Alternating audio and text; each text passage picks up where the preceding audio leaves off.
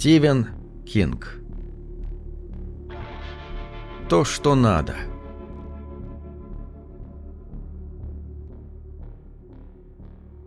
Сейчас у меня хорошая работа, так что хмуриться нет причин. Не нужно общаться с тупицами в Супер-Севре, не нужно вывозить тележки для продуктов на площадку на автостоянке, не нужно думать о том, как отвязаться от таких говнюков, как шкипер. Шкипер уже давно гниет в земле, но за 19 лет, проведенных на планете Земля, я крепко-накрепко уяснил для себя. Расслабляться нельзя. Шкиперов везде хоть пруд пруди. А кроме того, не нужно развозить пиццу дождливыми вечерами, ездить на старом Форде с пробитым глушителем, замерзать с открытым окошком под маленьким флагом Италии, трепещущим на проволоке. Как будто в Хакервеле кто-то будет салютовать ему. Пицца из Рима. Четвертаки чаевых от людей, которые даже не видят тебя, потому что всеми мыслями в футбольном матче, который показывают по ТВ. А противнее всего, я думаю, были обратные поездки в пиццу из Рима. С тех пор я уже успел полетать на частном самолете. Так чего мне жаловаться на жизнь? Вот что получается, если уходишь из школы, не получив свидетельство о среднем образовании, сказала бы по этому поводу мать, если бы я ей пожаловался. Ты будешь сожалеть об этом до конца своих дней. Милая, добрая мамочка, доставала и доставала меня, пока у меня действительно не возникло желания отослать ей одно из этих особых писем. Как ни крути, раньше я был в полном дерьме. Знаете, что сказал мне мистер Шарптон в тот вечер, когда мы сидели в его автомобиле? Это не просто работа, Динг. Это настоящее приключение. И сказал чистую правду. В чем-то другом, возможно, слукавил, но в этом нет. Полагаю, вас интересует, а какое жалование положили мне на этой удивительной работе.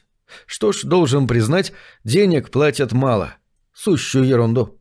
Но на этой работе главное – не жалование и не карьерный рост. Так мне сразу сказал мистер Шарптон.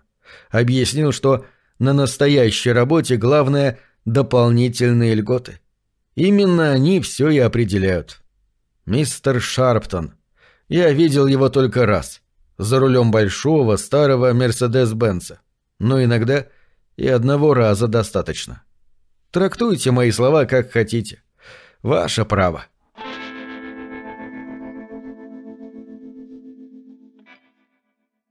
У меня есть дом.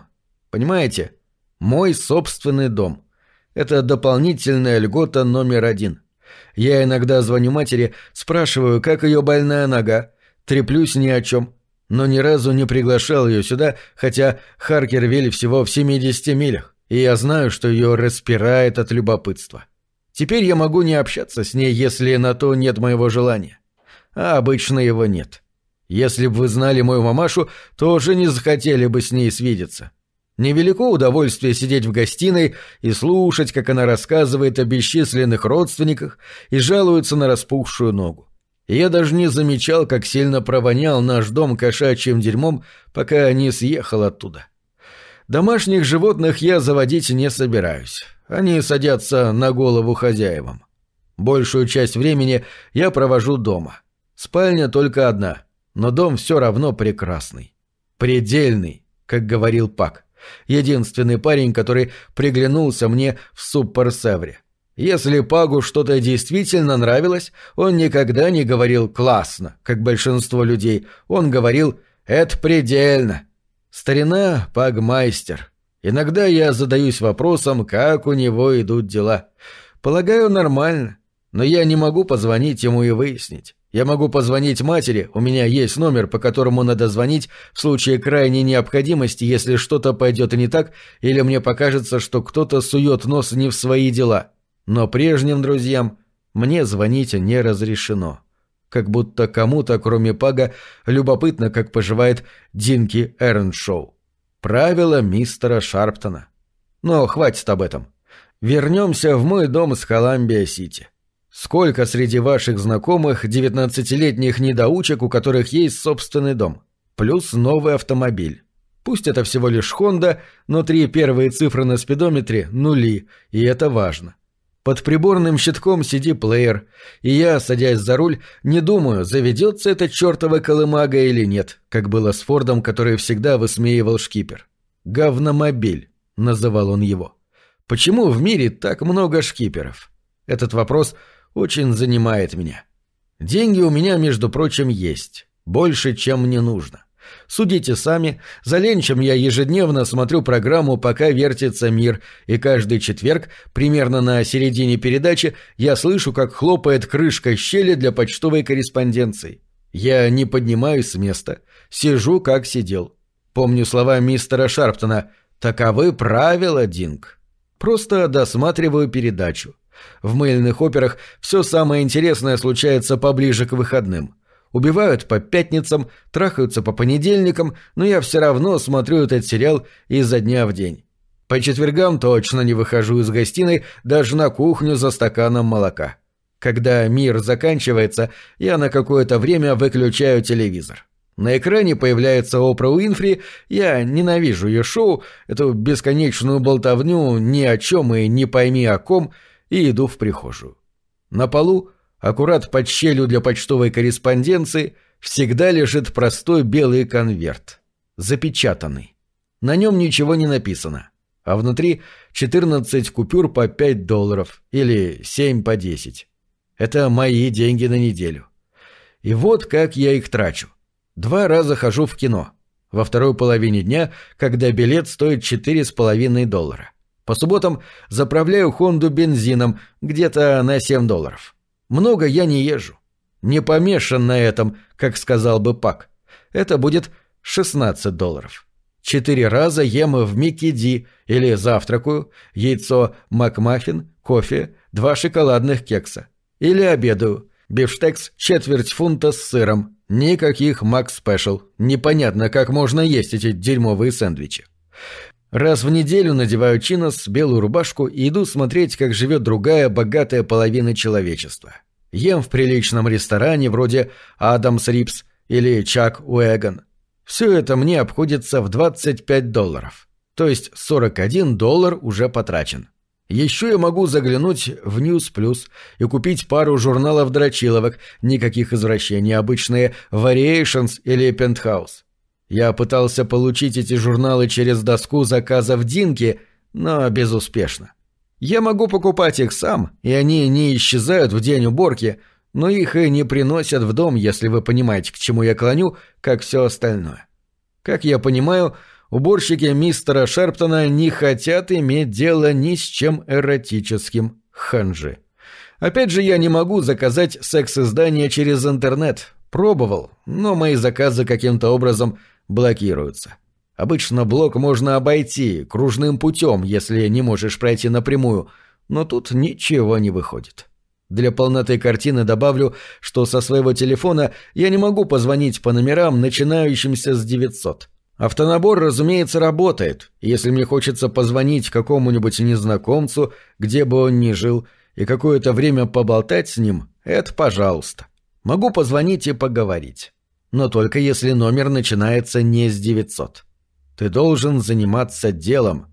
Наверное, это правильно. По собственному опыту знаю, чем больше думаешь о сексе, тем только хуже. Так что этот сексуальный трёп — просто беда. А кроме того, секс не самое главное в жизни, во всяком случае для меня. Секс — это хорошо, но не предельно. Однако, учитывая то, чем я занимаюсь, подобное ханжество представляется странным даже забавным. Да только я, похоже, потерял чувство юмора во всем, что связано с сексом. И кое с чем еще. Ладно, вернемся к бюджету. Если я покупаю журнал Variations, он стоит 4 бакса, то есть в сумме получается 45. На оставшиеся деньги я покупаю CD, хотя такой необходимости нет, один или два шоколадных батончика – я знаю, что нельзя, потому что кожа у меня оставляет желать лучшего, хотя я уже и не подросток. Иногда думаю о том, чтобы заказать на дом пиццу или китайский обед, но правила Тренкорп этого не разрешают. Опять же, мне как-то не с руки все это заказывать. Я же не представитель класса угнетателей. Я сам развозил пиццу, помните? Я знаю, какая это мерзкая работа. Однако, если бы я мог заказать пиццу, парень, который ее бы привез, не покинул дом с четвертаком. Я бы дал ему пятерку, чтобы увидеть, как радостно вспыхнут его глаза.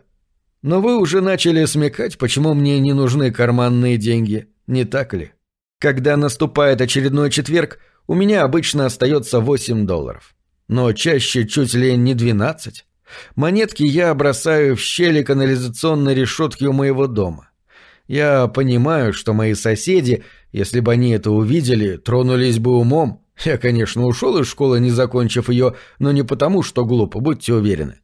Поэтому я выношу из дома ведро из синего пластика, который допускает переработку, с газетами, а иногда торчащим среди них номером пентхауза или Variations. Долго я дома это дерьмо не держу, и пока ставлю его на бордюрный камень, раскрываю кулак, в котором зажаты монеты. И они сыплются через щель решетки в ливневую канаву. Дзынь-дзынь-дзынь. Фокус-фокус. Вот они есть, а вот их уже и нету. В один прекрасный день монеты перегородят канаву, соответствующий департамент муниципалитета пошлет кого-нибудь прочистить ее, так этот парень подумает, что выиграл в лотерею, если, конечно, не случится страшный ливень, который унесет все монеты на станцию очистки сточных вод. Но к тому времени я уже уеду. Не собираюсь я до конца своих дней жить в Коламбия-Сити, авторитетно заявляю, уеду и скоро, так или иначе. С бумажными деньгами проще. Я просто бросаю их в мусорорубочную машину на кухне. Еще один фокус, гопля, и деньги превращаются в лапшу. Вы, наверное, думаете, что это странно — выбрасывать деньги. Я тоже так думал поначалу. Но к этому привыкаешь, как к любому повторяющемуся занятию. Да и потом, каждую неделю через щель для почтовой корреспонденции на пол падают очередные 70 баксов. Правило простое. Ничего не откладывать. К следующему четвергу не должно остаться ни цента. Кроме того, я же говорю не о миллионах, только о восьми или двенадцати долларах в неделю. Одним словом, мелочевки. Доска заказов Динки. Еще одна дополнительная льгота. Я записываю все, что мне может понадобиться на неделю, и получаю заказанное – за исключением эротических журналов, как я и говорил. Может, когда-нибудь мне это и надоест, но пока у меня такое ощущение, будто Санта-Клаус приходит ко мне круглый год. В основном я записываю продукты, как другие на грифельной доске в кухне. Но не только. Я могу написать, к примеру, новый видеофильм с Брюсом Уиллисом или новый CD Уизер, раз уж об этом зашла речь. Как-то в пятницу после кино я зашел в Тунс-экспресс. Я всегда хожу в кино по пятницам во второй половине дня, даже если фильм не особо интересный, потому что в это время приходят уборщики, чтобы убить время. Шел дождь, и не хотелось месить грязь в парке, и пока разглядывал новые поступления, один подросток спросил продавца насчет нового диска Уизер. Продавец ответил, что его привезут дней через десять, а то и позже но у меня он и лежал в следующую пятницу. Вот я и говорю, дополнительные льготы. Если я пишу на доске «спортивная рубашка», сие означает, что по возвращению домой в пятницу вечером меня она будет ждать, всегда в приятных моему глазу серых тонах. Если я пишу «чинос», я получаю брюки. Все вещи из гэпа, куда бы я сам пошел за покупками, если б мне все не приносили. Если я хочу какой-то определенный лосьон после бритья или одеколон, пишу название на доске заказов Динки, и он стоит на полочке в ванной, когда я заглядываю туда. Я не хожу на свидание, но жить не могу без одеколонов. Ничего не поделаешь. Сейчас, готов спорить, вы посмеетесь. Однажды я написал на доске «Картина Рембранта». Провел вторую половину дня сначала в кино, Потом в парке, наблюдая, как парочки обнимаются и целуются, а собаки гоняются за фрисби, думая о том, как предельно это будет, если уборщики действительно принесут мне картину Рембранта. Представляете себе, подлинник старого мастера на стене дома в районе Сансет-Кнолл города Коламбия-Сити. Как же предельно, а? Когда пришел домой, мой Рембрандт висел на стене, над диваном, где раньше были бархатные клоуны. Мое сердце билось с частотой в 200 ударов в минуту, когда я пересекал комнату. Только подойдя ближе, я понял, что это копия. Вы понимаете. Репродукция. Я, конечно, разочаровался, но не сильно. Хочу сказать, это был Рембрандт, пусть и не подлинник. В другой раз я написал «Фотография Николь Кидман с автографом». Я думаю, она самая красивая актриса из ныне здравствующих. Я просто тащусь от нее, так она меня возбуждает. И когда пришел домой, ее фотография украшала дверцу холодильника, прижатая двумя магнитами. На ней было одно из платьев, в которых она снималась в Мулен-Руш. И на этот раз я получил подлинник. Я это знаю, потому что внизу тянулась надпись «Динки Эрншоу с любовью и поцелуями от Николь». Вот такие дела. Круто. И вот что я хочу тебе сказать, приятель. Если бы я работал на совесть и действительно этого бы захотел, на стене моей гостиной мог появиться подлинник Рембранта. На такой работе путь только один – от малого к большему. И вот это, в определенном смысле, пугает больше всего. Теперь мне не приходится писать перечень продуктов. Уборщики и так знают, что я люблю. Замороженные обеды стоуфер, особенно кусочки мяса в сметанном соусе, которые опускают в кипящую воду в специальном мешочке. Мать называла это блюдо говном на палочке. Замороженную клубнику, жирное молоко, котлеты-гамбургеры, которые надо только положить на горячую сковородку. Я терпеть не могу возиться со свежим мясом. Пудинги доул в пластиковых стаканчиках вредны для кожи, но я их люблю. Если речь идет о повседневной еде. А вот когда мне хочется что-то особенное, я прибегаю к помощи доски заказов Динки. Однажды я попросил домашний яблочный пирог, подчеркнув «не из супермаркета», и когда к вечеру уже начало темнеть, вернулся домой, мой пирог стоял в холодильнике вместе с остальными продуктами, только не упакованный просто лежал на тарелке с синей каемкой. По отсутствию упаковки я понял, что пирог действительно домашний. Не сразу решился приняться за него, откуда мне знать, где и кто его выпекал. Потом понял, что веду себя глупо. Мы же не знаем, откуда еда доставляется в супермаркет, не так ли? То есть мы полагаем, что она качественная, потому что упакована или в банке, или с надписью «герметизирована ради вашей защиты» но кто-то мог хвататься за нее грязными пальцами до того, как ее герметизировали, чихать на нее, даже подтирать ею задницу. Я не хочу вас пугать, но ведь это правда. В мире полно странных людей, и многие из них не способны на что-то хорошее. Я лично с такими сталкивался. Можете мне поверить. В общем, пирог я попробовал. И до чего же он оказался вкусным. Я съел половину в пятницу вечером, а вторую — в субботу утром. Субботний вечер практически полностью просидел в сортире, освобождая кишки от всех этих яблок. Но не жаловался. Пирог того стоил. Как пекла мама. Обычно говорят про такой, но только к моей матери это не относится. Моя мать не смогла бы поджарить и спэм. Мне никогда не приходилось заказывать нижнее белье. Каждые пять недель все, что лежало в белевых ящиках, исчезает, зато появляются новенькие трусы-плавки Хейнс, носки в пластиковых мешочках, герметизированные для моей защиты, туалетная бумага, стиральный порошок, мыло, шампунь. Ничего этого я не заказываю, все появляется и так. Очень предельно. Или вы так не думаете? Я никогда не видел уборщиков, как и не видел парня, может, это и девица, который приносит мне 70 баксов по четвергам, когда я смотрю, пока вертится мир. И у меня нет желания увидеть их. Во-первых, мне это не нужно. Во-вторых, да, признаюсь, я их боюсь.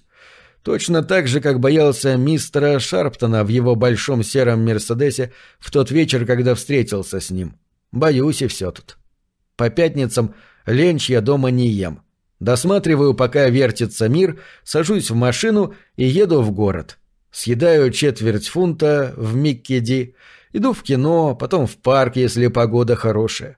Там хорошо думается, а в последнее время мне есть о чем подумать. Если погода плохая, я иду в торговый центр. Теперь, когда дни стали короче, у меня возникают мысли о том, а не заняться ли вновь боулингом. Чтобы хоть как-то скоротать вторую половину пятницы. Раньше мы частенько ходили в боулинг-центр с Пагом. Мне не достает Пага. Хотелось бы мне позвонить ему, поболтать, кое-чего рассказать, к примеру, об этом парне, Неффе. Короче, плюнуть в океан и посмотреть, что из этого выйдет.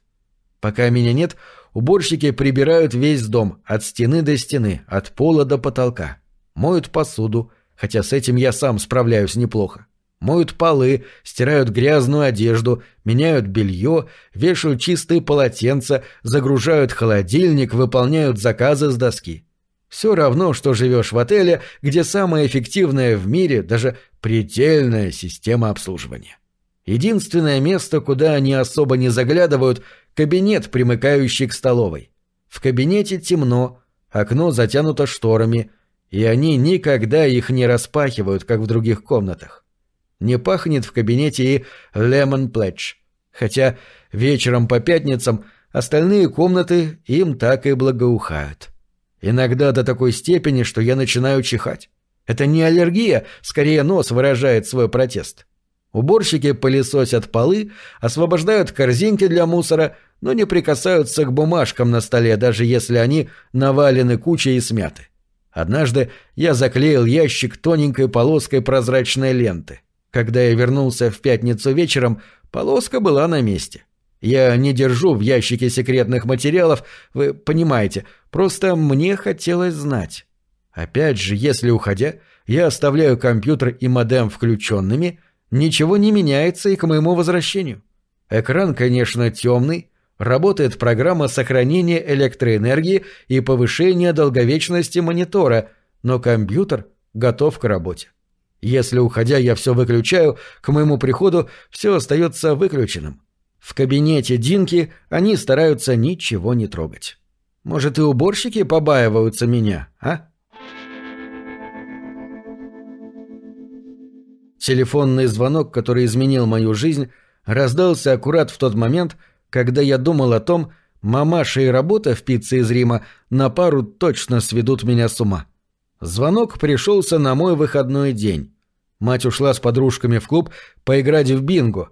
Все они дымили, как паровоз. И без сомнения смеялись, когда ведущий, доставая номер Б-12, говорил «А теперь, дорогие дамы, самое время принять витамины».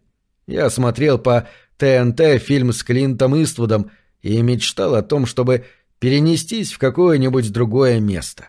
Даже в Саскачеван. Звонил телефон.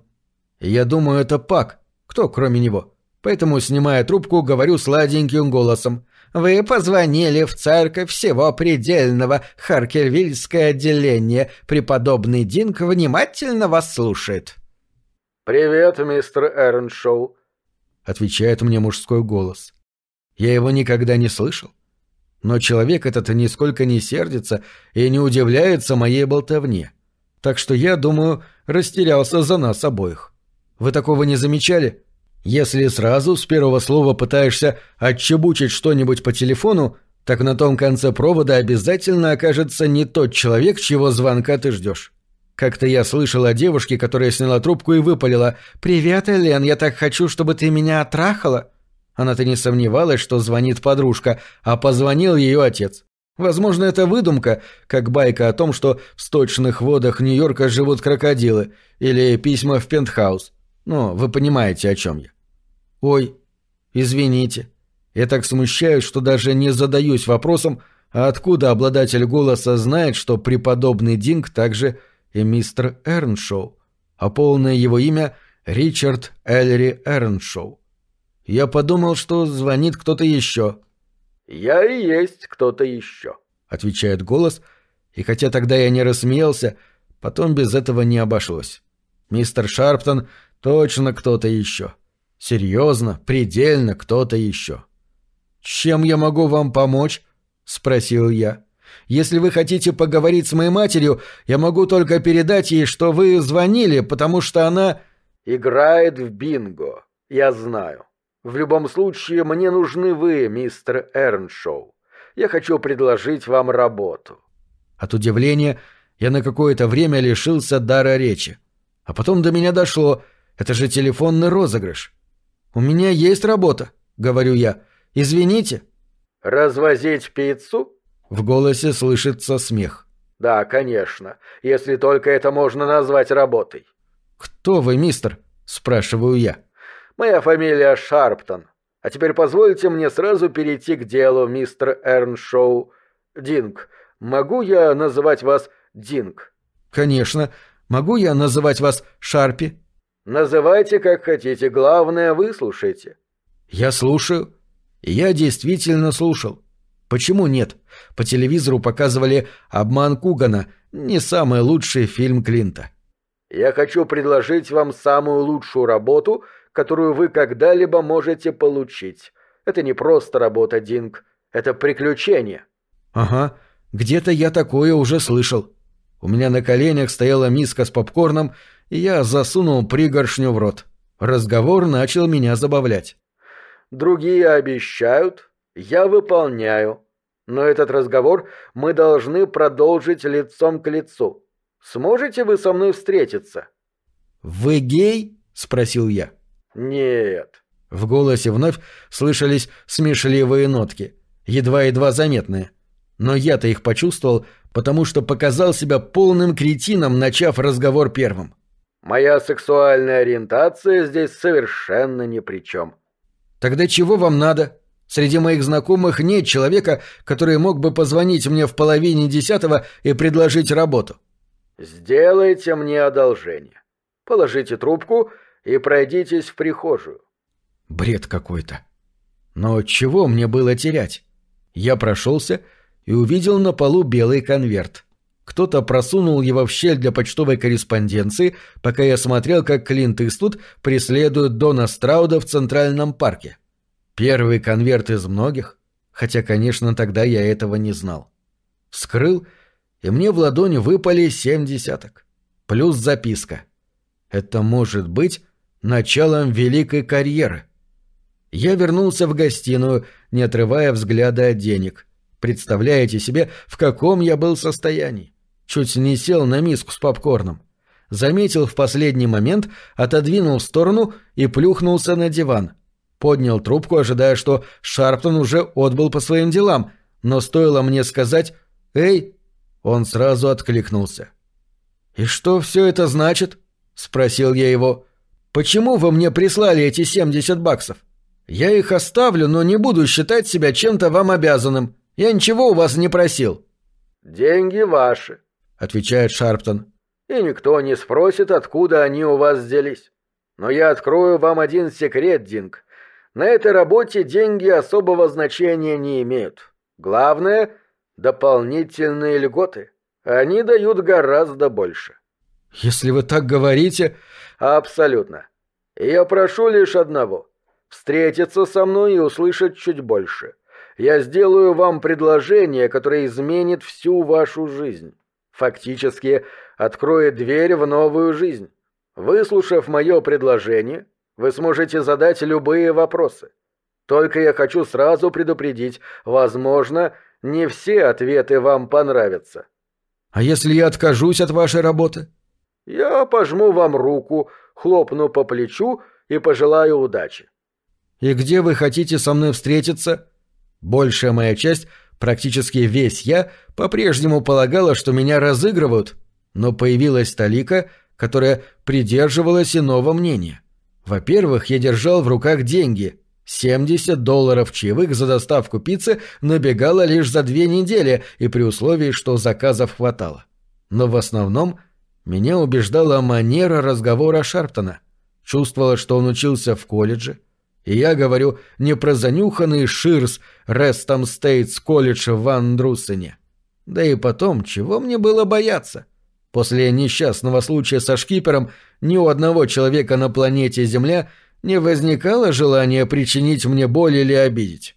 Ну, оставалась, конечно, мамаша, но ее единственным оружием был язык. И уж, конечно, на такой розыгрыш ума бы у нее не хватило. Опять же, она бы никогда в жизни не рассталась с 70 долларами, на которые она могла сыграть в бинго. «Этим вечером», — ответил он. «Собственно, прямо сейчас». «Хорошо. Почему нет? Подъезжайте. Полагаю, раз вы бросили конверт с десятками в щель для почтовой корреспонденции на моей двери, адрес мне диктовать не нужно». «Не в вашем доме. Встретимся на автостоянке у Суперсевра». Желудок у меня ухнул вниз, как оборвавшаяся кабина лифта, и разговор сразу перестал быть забавным. Может, это какая-то ловушка? Может, не обошлось и без копов? Я говорил себе, что о шкипере узнать никто не мог, особенно копа, но, господи, письмо было. Шкипер мог оставить его где угодно. По этому письму никто ничего не смог бы понять, кроме имени его сестры Дебби, но в мире миллионы девушек, которых зовут Дебби. Как никто ничего не смог понять из того, что я написал на тротуаре около дома миссис Буковски. Так я во всяком случае говорил до этого чертова звонка. Но кто мог это гарантировать? И вы знаете, что говорят о нечистой совести? Я, конечно, не чувствовал за собой вины за смерть шкипера тогда, но все-таки. Суперсевер — странное место для собеседования о приеме на работу, не так ли? Если учесть, что магазин закрыт с восьми часов вечера. Поэтому нам там будет удобно, Динг. Уединение в общественном месте. Я припаркуюсь около площадки для тележек. Автомобиль ты узнаешь без труда. Большой серый Мерседес. Я его узнаю, потому что он будет единственным, ответил я, но в трубке уже раздавались гудки отбоя. Я положил трубку, сунул деньги в карман, машинально не отдавая себе отчета в том, что делаю. Меня прошиб пот. Голос в телефонной трубке предложил встретиться около площадки для тележек, где шкипер так часто доставал меня. Однажды он чуть не раздробил мне пальцы между ручками двух тележек и рассмеялся, когда я вскрикнул от боли. Смех этот причинил куда больше страданий, хотя на двух пальцах ногти почернели и отвалились.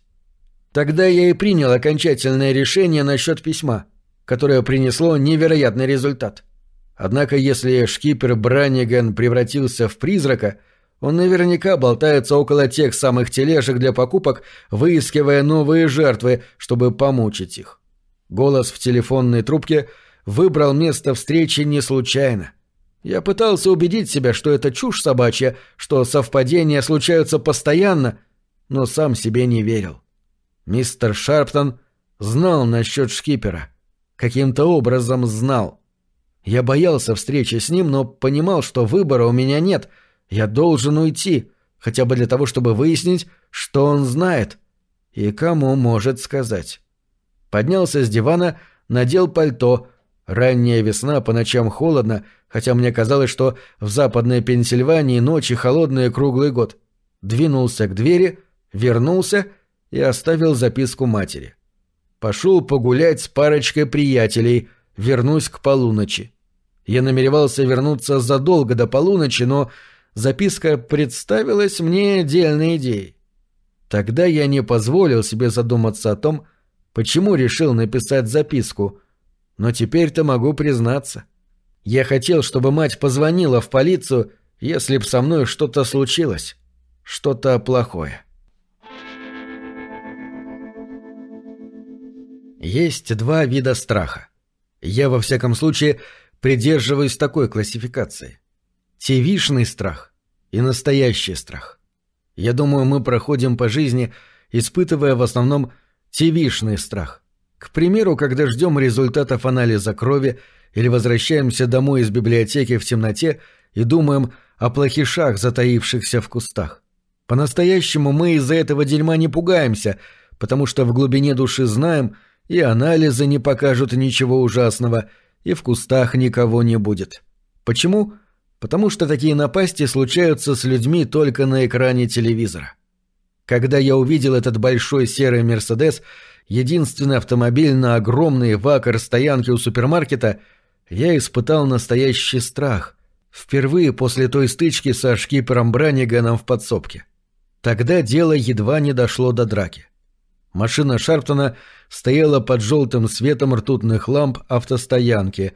Большой старый фрицмобиль, 450-й, может даже 500-й, какие нынче стоят никак не меньше 120 кусков. Стояла рядом с площадкой для тележек. Ночью, естественно, она пустовала, все тележки увезли внутрь, оставили лишь одного трехколесного инвалида. Горели только подфарники. Белый дымок вился над выхлопной трубой. Двигатель урчал, как сонный кот. Я подъехал. Сердце билось редко, но сильно. Во рту стоял неприятный привкус. Больше всего мне хотелось нажать на педаль газа Форда, в котором в эти дни стоял запах пиццы с перчиками, и уехать к чертовой матери. Но я никак не мог избавиться от мысли, что этот парень знает про шкипера. Я мог говорить себе, что знать просто нечего, что с Чарльзом Шкипером Браниганом или произошел несчастный случай, или он покончил жизнь самоубийством. Копы не смогли прийти к единому мнению. Копы практически не знали Шкипера. Если бы знали получше, тут же отбросили бы версию самоубийства. Такие, как Шкипер, никогда не сводят счеты с жизнью, во всяком случае, в 23 года. — но мне так и не удалось заглушить внутренний голос, долдонящий, что я в опасности. Кто-то может скумекать, что к чему, кто-то найдет письмо и скумекает. Логика не была союзницей внутреннего голоса, но он прекрасно без нее обходился. Его хорошие легкие просто перекрикивали логику. Я остановился рядом с мурлычащим Мерседесом, опустил стекло — Одновременно пошло вниз и стекло водительской дверцы Мерседеса. Мы посмотрели друг на друга, я и мистер Шарптон, как пара друзей, встретившихся в автокинотеатре. Сейчас я помню его смутно, что странно, учитывая, с тех пор я много думал о нем, но это так. Запомнилось, что он худой и в костюме. В дорогом, хотя в костюмах я не больно разбираюсь. Однако костюм меня несколько успокоил. Наверное, дело в подсознательных ассоциациях. Костюм, бизнес, джинсы и футболка, лажа. «Привет, Динг», — говорит он. «Я мистер Шарптон. Переходи ко мне». «А может, останемся где сидим?» — ответил я. «Мы можем говорить и через окна. Ничего необычного в этом нет». Он молча смотрел на меня. Через несколько секунд я заглушил двигатель Форда и вылез из кабины. — не могу сказать почему. А вот перепугался пуще прежнего. И страх был настоящий. Настоящий на все сто процентов, без малейшей примеси тевишного. Может, поэтому он добивался от меня всего, чего хотел.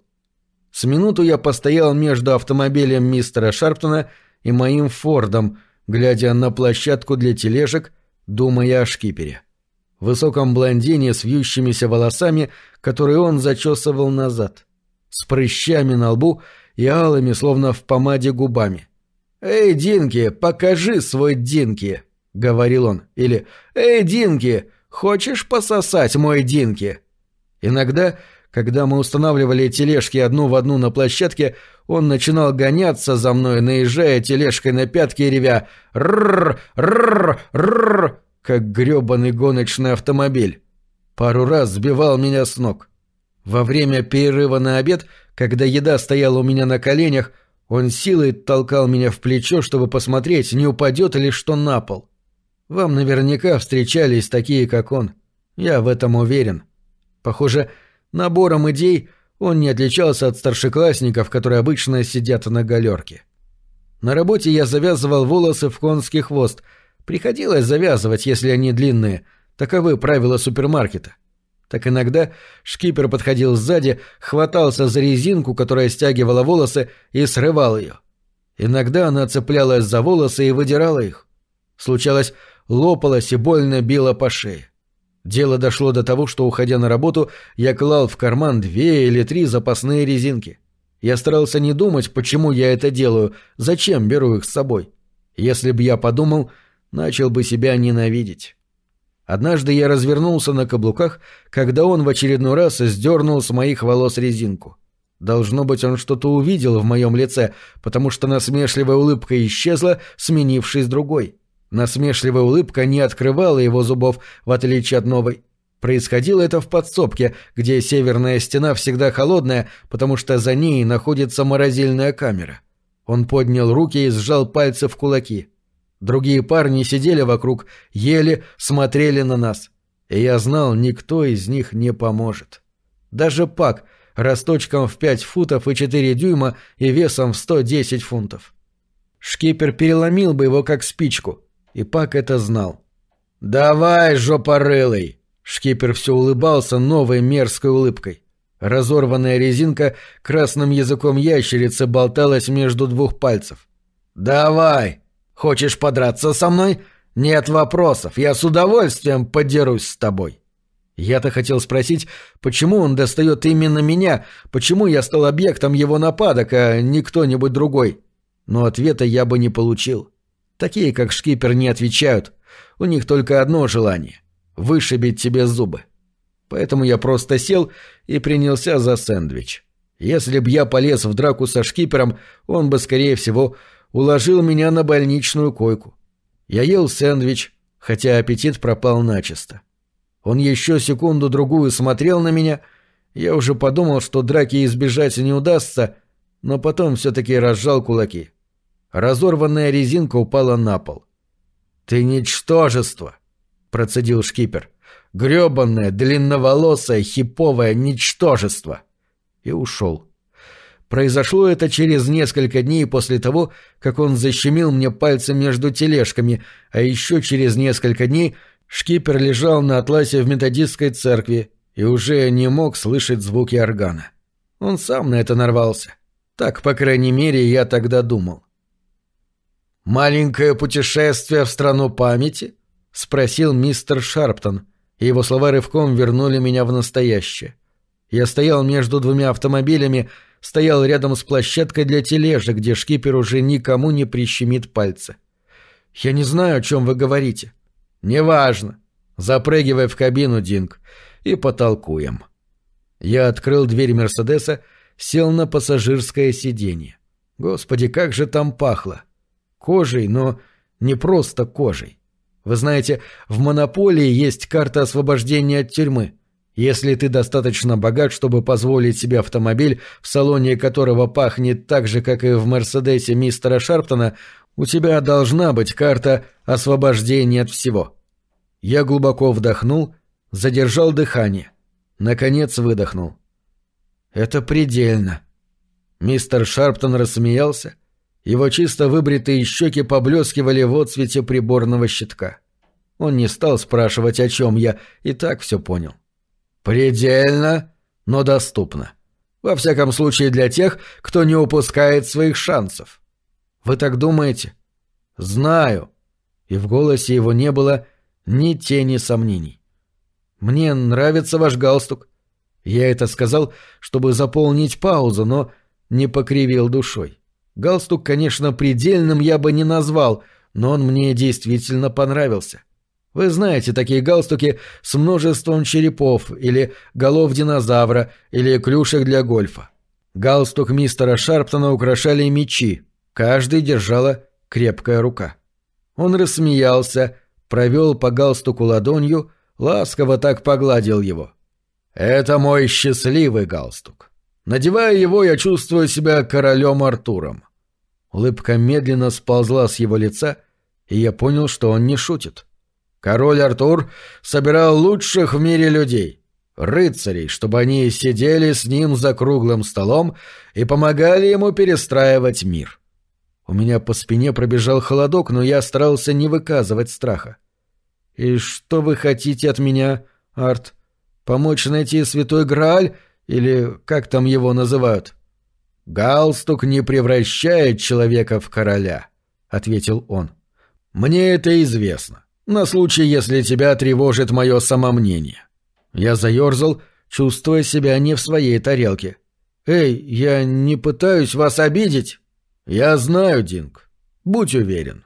Отвечаю на твой вопрос.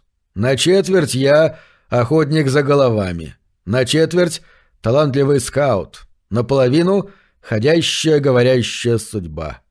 Сигарету? Я не курю. Это хорошо, дольше проживешь. Сигареты убийцы. иначе люди не называли бы их гробовыми гвоздями. Вы меня заинтриговали. Надеюсь на это. Шарптон закурил. Искренне надеюсь. Ты первоклассная находка, Динг. Я сомневаюсь, что ты мне поверишь, но и это так. Так о каком предложении вы говорили? Скажи мне, что случилось со шкипером Браниганом? Мои худшие предположения подтвердились. Он не мог знать. Никто не мог. Но как-то прознал. Тело у меня онемело, голову сжало обручем, язык прилип к небу. «Давай, рассказывай». Голос доносился издалека, глубокой ночью так слышен голос диктора радиостанции, работающей на коротких волнах. Язык вернулся на положенное ему место. Для этого потребовались немалые усилия, но я справился.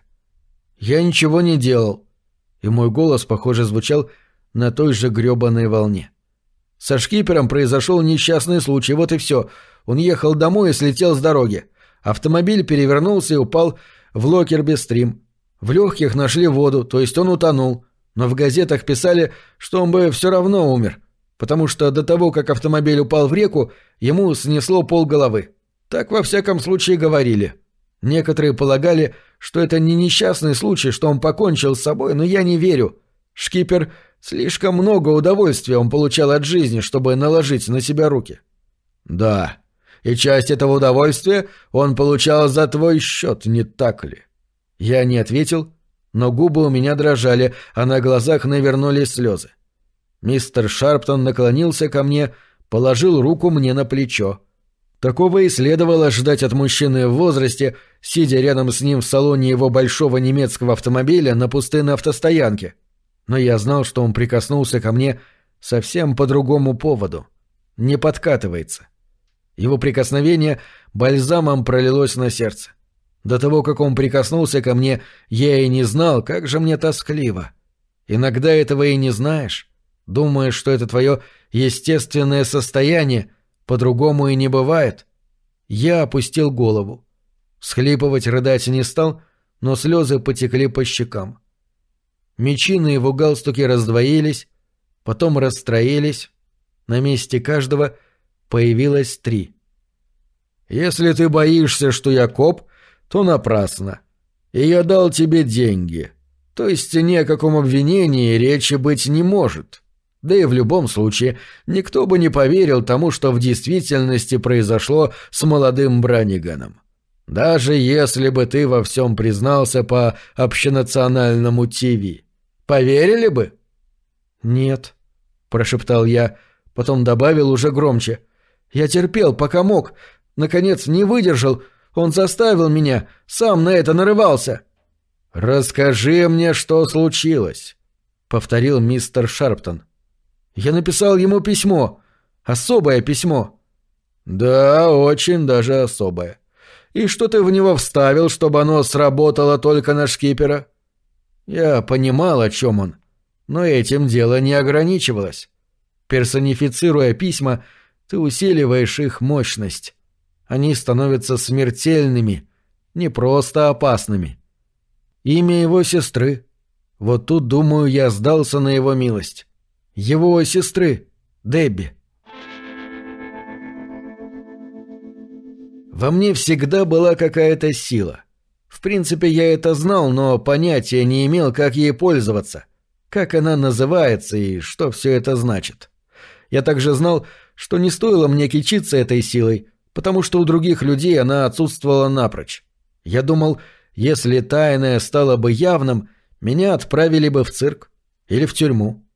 Я помню, как однажды, помню смутно, мне было годика четыре, это одно из моих первых воспоминаний. Я стоял у грязного окна и смотрел во двор. Видел там колоду для рубки дров и почтовый ящик с красным флагом. То есть происходило все в доме тети Мейбл в деревне. Мы там жили после того, как сбежал мой отец. Мать нашла работу в булочной пекарне Харкервилля, и вскоре мы вернулись в город. Мне тогда было чуть больше пяти. Мы жили в городе, когда я начал ходить в школу, это я знаю точно. Благодаря псу миссис Буковски. Мимо этого грёбаного людоеда мне приходилось ходить пять дней в неделю. Никогда не забуду эту тварь. Боксер с белым ухом. Он навсегда поселился в стране памяти, о которой упоминал мистер Шарптон. Так вот, я смотрел в окно, а на верхней панели окна жужжали мухи. Вы, конечно, знаете, как они жужжат. Звук мне не нравился, но достать их я не мог, даже свернутым в трубочку журналом, чтобы перебить или разогнать. И вместо этого я пальцем нарисовал на грязном стекле два треугольника, а потом круг, который соединил треугольники. Как только я это сделал, как только подушечка моего указательного пальца дорисовала круг, все мухи, четыре или пять, мертвыми попадали на подоконник. Большие, как фасолины, черные фасолины, которые вкусом напоминают солодку. Я поднял одну, пригляделся, не нашел ничего интересного, бросил на пол и продолжил смотреть в окно. Что-то подобное и потом случалось время от времени, но не с какой-то целью. Не потому, что я захотел, чтобы это произошло. Насколько я помню, впервые до шкипера я использовал заложенную во мне силу против пса миссис Буковски. Она жила на углу нашей улицы, тогда мы арендовали дом на Дагуэй-авеню. Пес был жутко злой и опасный и все дети Уэссайда боялись этой твари с белым ухом. Мисс Буковский держал ее на веревке во дворе, и боксер обгавкивал каждого, кто проходил мимо. Не просто обгавкивал, как некоторые собаки. В его лае ясно слышалось «Если б ты попал во двор или оказался на улице, ходить тебе без яиц, козел». Однажды пес сорвался с веревки и покусал разносчика газет. Любую другую собаку за это бы усыпили — но сын миссис Буковский был начальником полиции и как-то все уладил. Я ненавидел боксера так же, как ненавидел шкипера. Полагаю, в определенном смысле он тоже был шкипером. Мне приходилось проходить мимо дома миссис Буковски по пути в школу. Конечно, я мог обойти квартал с другой стороны, но тогда бы меня прозвали сосунком, да и дорога заняла куда больше времени. И всякий раз я ужасно боялся, что псина сорвется с веревки. Она так яростно гавкала, что пена летела во все стороны. Иногда боксер рвался к забору с такой силой, что у него подсекались лапы, и он падал на землю. Кто-то находил это забавным, но только не я. Я боялся, что веревка — не цепь, а старая веревка — в один прекрасный день оборвется, боксер перепрыгнет через низкий забор из штакетника, который отделял двор миссис Буковский от Дагуэ-авеню, и вцепится мне в горло. А потом однажды утром я проснулся с идеей. Готовой идеей. Я хочу сказать, мне ничего не пришлось додумывать.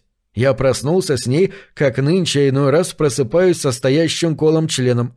Проснулся в субботу. Очень рано. Но солнце уже поднялось. В этот день я мог не появляться рядом с домом миссис Буковски, если бы не хотел. Но как раз в эту субботу мне не терпелось пойти туда. Я скоренько вылез из постели, оделся.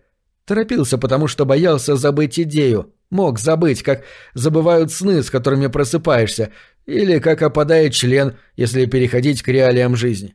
Но в тот момент все держал в голове, до мельчайших подробностей. Слова, треугольники, завитки, особые круги, связывающие отдельные элементы воедино. Два или три, частично накладывающиеся друг на друга, повышающие действенность. Я проскочил через гостиную, мать спала, я слышал ее похрапывание, а розовая униформа, в которой она работала в булочной, висела на крючке в ванной. На кухню.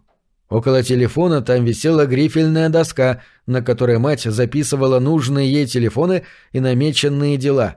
Конечно, не доска заказа в Динке, но нечто похожее. Я задержался на несколько секунд, чтобы взять кусок розового мела, который болтался на нитке, сунул его в карман и вышел за дверь. Я помню то прекрасное утро. Прохладное, но не холодное. Небо такое синее, словно его только что вымыли дочисто. На улице не было ни души. Сами знаете, по субботам, если есть такая возможность, люди любят поспать. Собака миссис Буковски не спала. Чёрта с два. Этот пес честно исполнял свои обязанности. Увидел меня сквозь зазоры между штакетинами и рванулся к забору.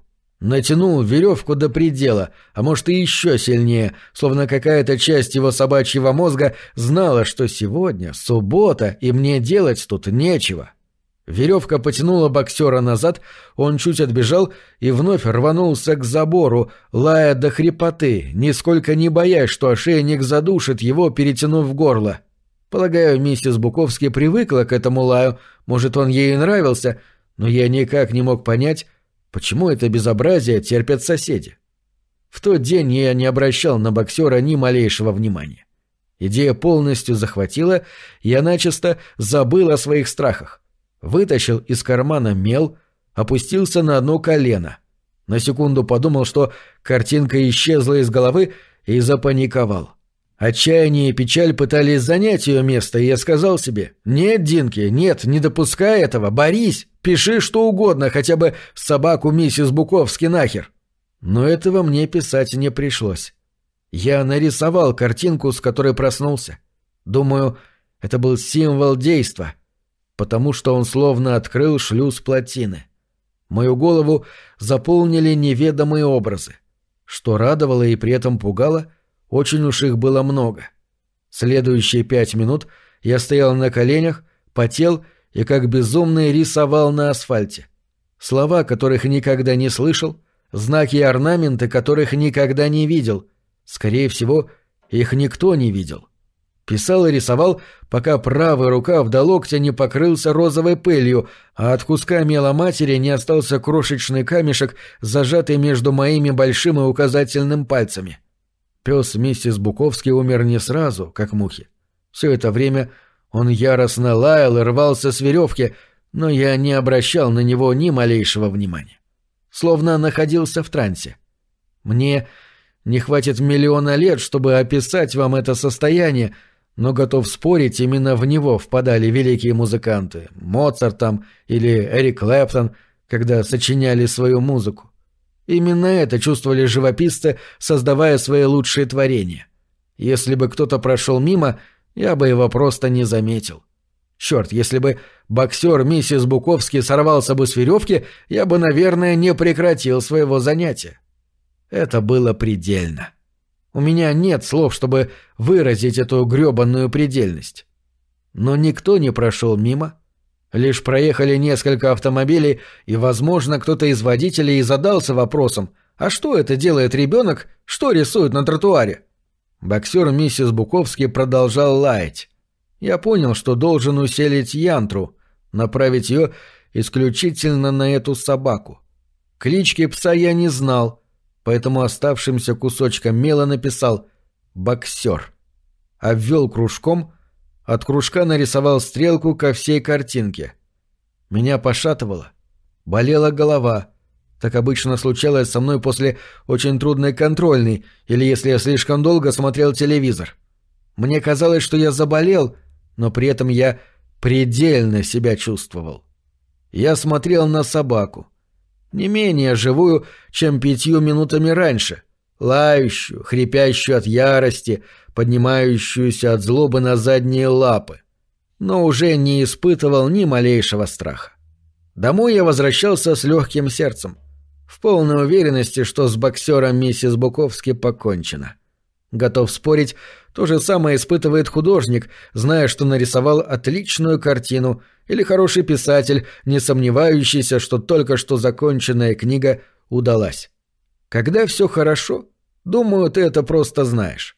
Возникает полная гармония между тобой и твоим творением, и это ни с чем не сравнимое ощущение. Тремя днями позже псина лежала в земле — как это произошло, я узнал из самого достоверного источника информации по части злобных собак. От нашего почтальона. Звали его мистер Шермерхорн. Так вот, мистер Шермерхорн рассказал, что боксер миссис Буковски вдруг начал бегать вокруг дерева, к которому она его привязала, а когда веревка полностью обмоталась вокруг ствола, он не сообразил, что теперь надо бежать в обратную сторону. Миссис Буковский ушла в магазин, так что ничем не смогла ему помочь.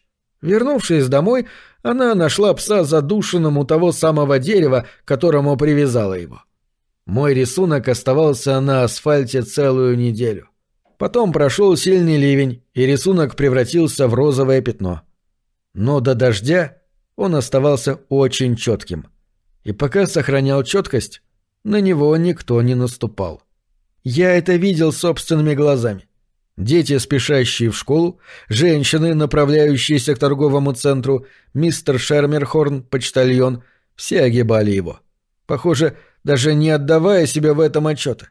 И никто о моем рисунке не говорил, никто не спрашивал, что это за странное дерьмо на асфальте. Или «И как же это называется?» Янтра, тупица. Они словно и не видели рисунка. Да только какая-то часть сознания их видела — Иначе чего им его обходить? Все этого я мистеру Шарптону говорить не стал, но рассказал о шкипере. Решил, что ему можно доверять. Может, потому что моя тайная сила знала, ему можно доверять. Но, думаю, дело не в этом. Все решило его прикосновение к моему плечу. Так мог прикоснуться только любящий отец. Нет, Любящего отца у меня не было, но я могу представить себе, каким он должен быть. Плюс, как он и говорил, даже если бы он был копом и арестовал меня, какие судьи присяжные поверили бы, что шкипер Бранниген слетел с дороги из-за письма, которое я ему отослал? С учетом того, что в нем полно бессмысленных слов и непонятных символов, а написано оно парнем, который развозит пиццу и не смог сдать школьный экзамен по геометрии. Дважды. После моего рассказа в салоне Мерседеса надолго воцарилась тишина. «Он этого заслужил», — нарушил молчание мистер Шарптон. «Ты это знаешь, не так ли?» Его слова стали последней соломинкой. Дамба рухнула, и я разрыдался. Плакал минут пятнадцать, а то и больше. Мистер Шарптон обнял меня, прижал к груди, лацкан его пиджака промок насквозь. Если бы кто-то подъехал и увидел нас, точно решил бы, что мы парочка геев, но кому охота сворачивать на стоянку супермаркета после его закрытия? Так что мы сидели вдвоем под желтым светом ртутных ламп у площадки для тележек. «Не упрямься, тележка», — бывало говорил Пак, когда приходило время завозить тележки в здание супермаркета. «Ты же знаешь, что до утра Супер Савр будет твоим новым домом». У нас это всегда вызывало смех. Наконец я смог перекрыть водяной кран. Мистер Шарптон протянул мне носовой платок, и я вытер глаза. «Как вы узнали?» Я не узнал свой осипший дрожащий голос. «Как только тебя засекли, провели рутинное детективное расследование». «Да, но как меня засекли?» «У нас есть специальные люди. Их не больше дюжины, которые отслеживают таких юношей и девушек, как ты, Динг. Они могут видеть юношей и девушек с таким даром, как у тебя, Динг. Точно так же, как спутники из космоса видят ракеты с ядерными боеголовками и атомные электростанции. Вы окутаны сиянием. Как мне говорил один из этих людей, желтым. Он покачал головой, чуть улыбнулся. Очень хочется хоть раз в жизни такое увидеть. Или сделать то, что под силу тебе. Но, разумеется, мне также хочется, чтобы на один день одного хватит. Я смог рисовать, как Пикассо, или писать, как Фолкнер. У меня отвисла челюсть. Это правда? Есть люди, которые могут видеть? Да. Они настоящие щеки. Колесят по стране и другим странам в поисках этого желтого сияния разыскивают спички, горящие в ночи. Вот тебя нашла одна молодая женщина, которая ехала по дороге 90 в Питтсбург, спешила на самолет, чтобы немного отдохнуть дома. Увидела тебя или почувствовала, уж не знаю, как там у них происходит. Ищейки сами этого не знают, как ты не знаешь, что ты сделал со шкипером. Ведь не знаешь? Что? Он поднял руку. Я говорил, что не все ответы тебе понравятся. В данной ситуации ты должен решать, исходя из того, что чувствуешь, а не знаешь. Но кое-что сказать тебе я могу. Прежде всего, Динг, я работаю на организацию, которая называется Trend Corporation. Наша задача — избавлять мир от шкиперов Брейниганов, только тех, у кого сфера деятельности и возможности куда шире, чем у твоего шкипера. Штаб-квартира компании находится в Чикаго. Тренировочный центр в Пиории. Там ты проведешь неделю, если согласишься на наше предложение. Тогда я еще ничего не сказал, но уже знал, что соглашусь на его предложение. Соглашусь, что бы он мне не предложил. Ты, Тренни, мой юный друг, лучше привыкай к этой мысли. Кто? Человек с характерными особенностями организма. В нашей организации есть люди, которые воспринимают твои возможности. То, что ты можешь сделать, как талант, способности, даже воздействие свыше. Но они не правы. Таланты и способности идут от характерных особенностей организма. Характерные особенности – основа, таланты, способности – производные. Вам надо бы объяснить все проще. Не забывайте, что я не смог закончить среднюю школу. «Знаю», — кивнул он. «Мне также известно, что из школы ты ушел не потому, что глуп, а потому, что не вписывался в общую схему. В определенном смысле ты такой же, как все остальные трени, с которыми мне доводилось встречаться». Он рассмеялся, а рисковато, как смеются люди, которым, в общем-то, совсем и не весело. «Все двадцать один.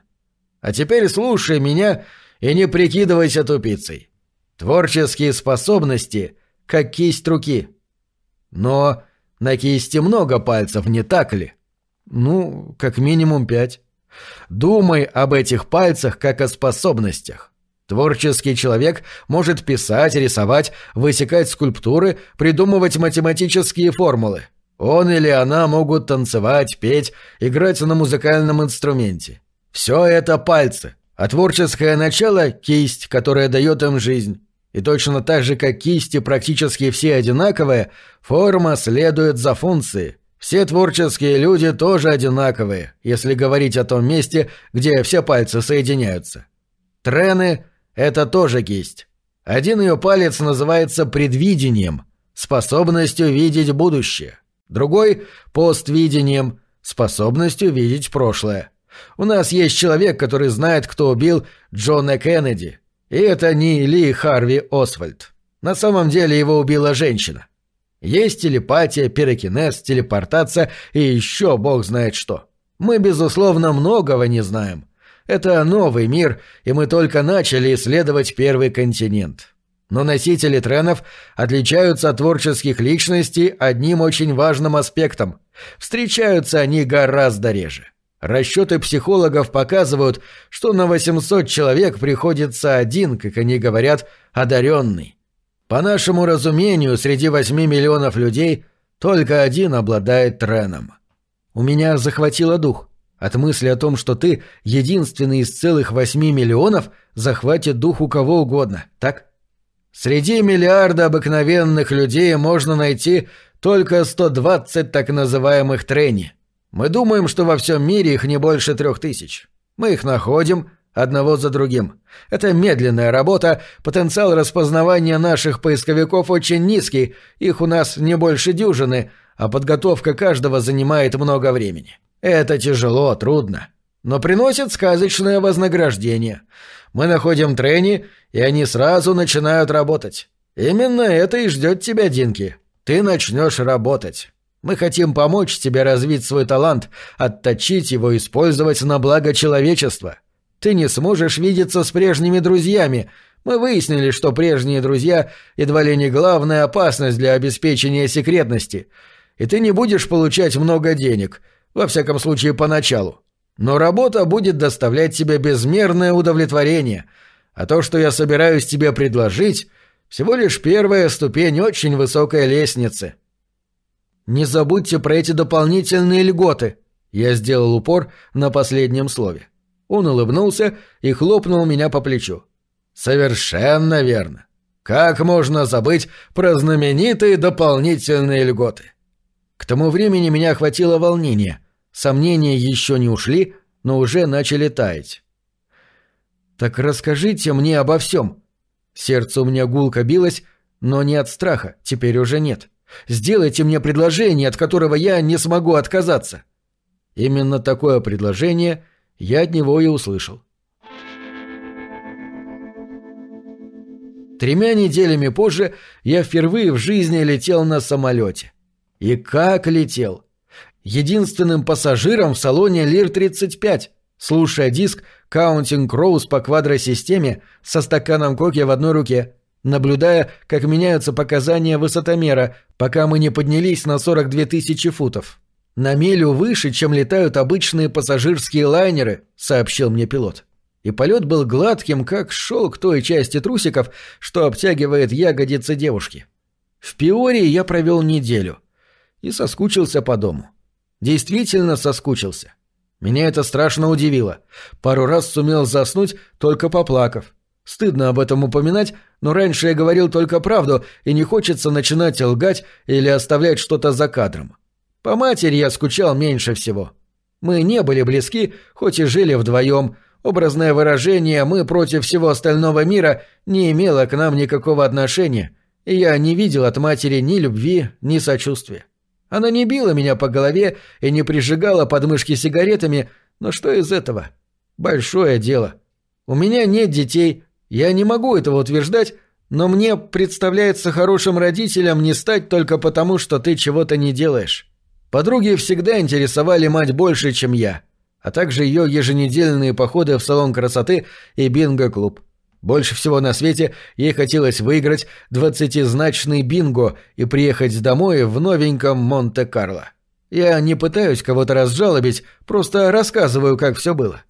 Мистер Шарптон позвонил матери и сказал, что я выбран для участия в компьютерном проекте Trend Corporation, охватывающем потенциально способных подростков, которые не закончили среднюю школу и не получили диплома. Легенда эта была достаточно убедительной.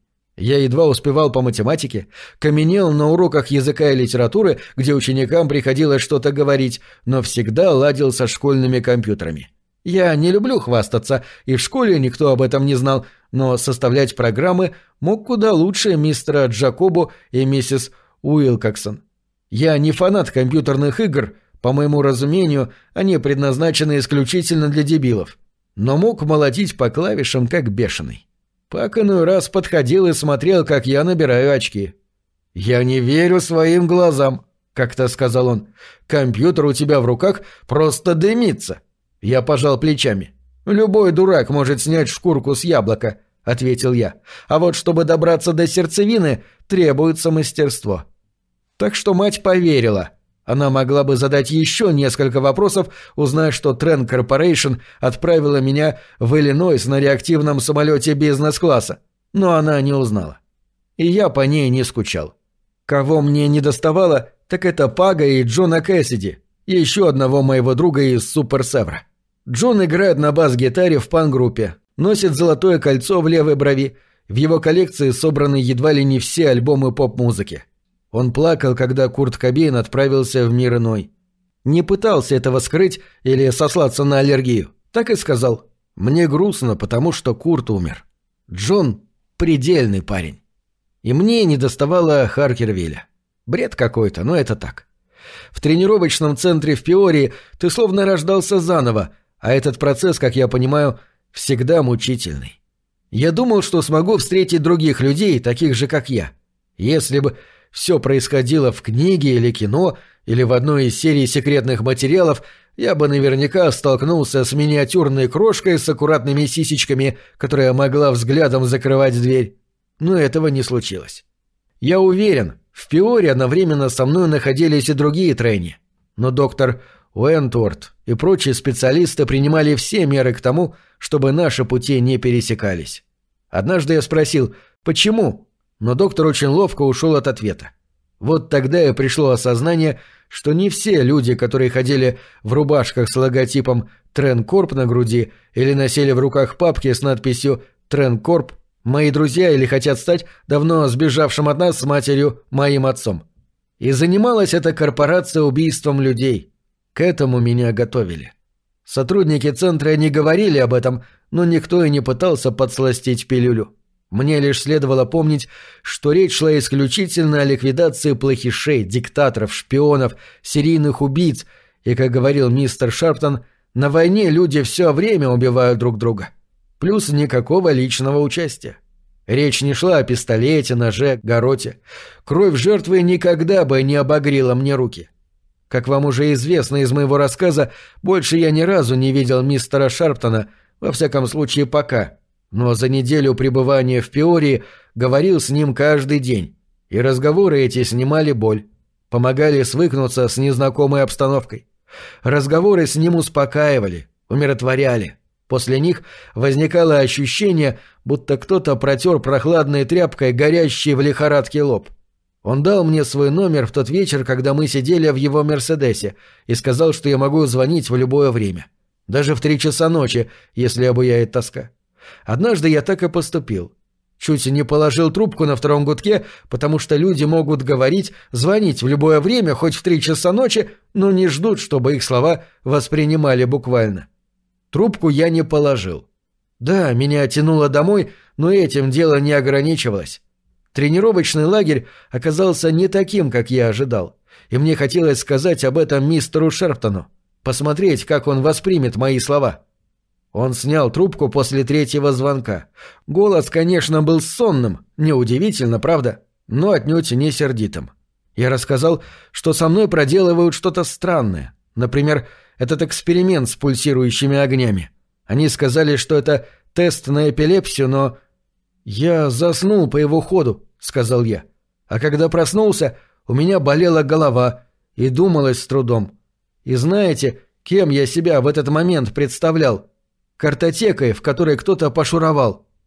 «Что тебя гнетет, Динг?» — спросил мистер Шарптон. «Я думаю, они меня загипнотизировали», — ответил я. Последовала короткая пауза. «Может, и загипнотизировали. Скорее всего». «Но почему? Зачем? Я делаю все, что они мне говорят. Зачем им понадобилось гипнотизировать меня?» «Я не знаю их порядков и процедур, но подозреваю, что они тебя программировали. Вводили большие объемы базовой информации на глубинные уровни сознания, чтобы она не мешала процессу мышления. Может, по ходу подрегулировали уникальную особенность твоего организма. Тот же процесс, что и при программировании жесткого диска компьютера. Совершенно безопасный. Вы точно это знаете? Нет. Как я уже и говорил, подготовка и тренировка не по моей части. Но я кое-кому позвоню, и доктор Уэнтуорт поговорит с тобой. Может даже извиниться.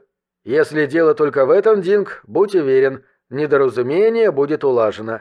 Наши трени – штучный товар. Они встречаются слишком редко, чтобы их попусту расстраивать. А что-нибудь еще?» Я задумался и ответил, что нет. Поблагодарил его и положил трубку. С языка едва не сорвалось, что мне, я действительно так думал, дают психотропные средства, чтобы они сняли тоску по дому, но потом решил не грузить его еще и этим. Все-таки часы показывали три ночи, а если мне что-то и давали – то для моего же блага.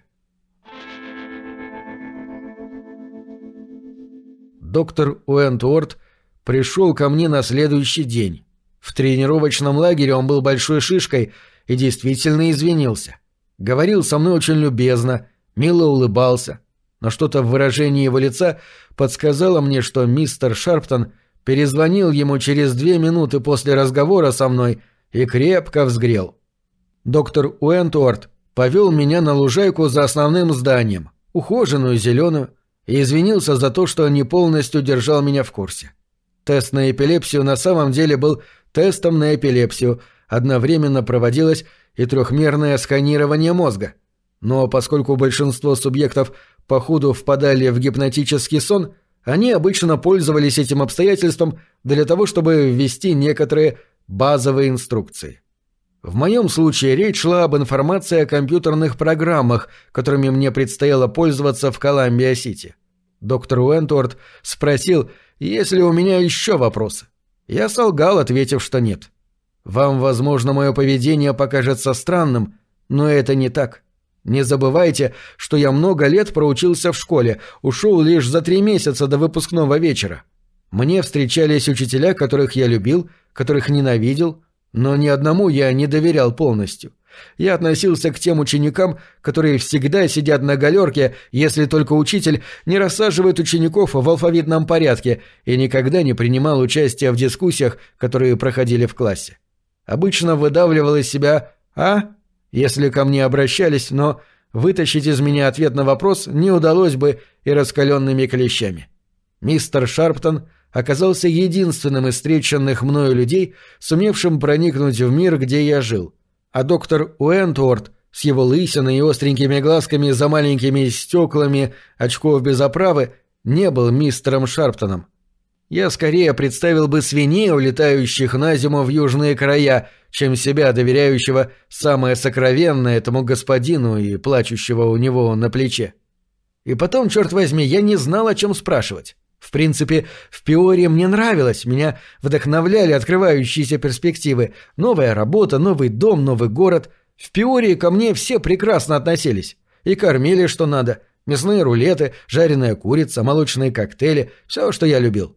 Ладно, к диагностическим тестам душа у меня не лежала. Тем самым, которые проводят специальным датчиком-карандашом, подключенным к компьютеру. Иногда я чувствовал себя отупевшим, словно мне что-то подсыпали в картофельное пюре, или перевозбужденным, случалось и такое. И еще дважды, как минимум, меня погружали в гипнотический сон.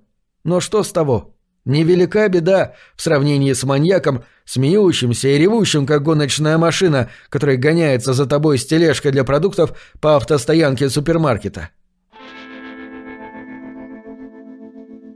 Полагаю, я должен упомянуть еще об одном телефонном разговоре с мистером Шарптоном. За день до моего второго полета на самолете, на этот раз в Коламбия-Сити, где меня встретил мужчина с ключами от моего нового дома. К тому времени я уже знал об уборщиках, о денежном правиле. Начинаешь неделю без единого цента, заканчиваешь неделю без единого цента. И кому звонить, если у меня возникнут проблемы? Мелкие проблемы потому что по крупным следовало звонить непосредственно мистеру Шарптону, который считался моим смотрящим.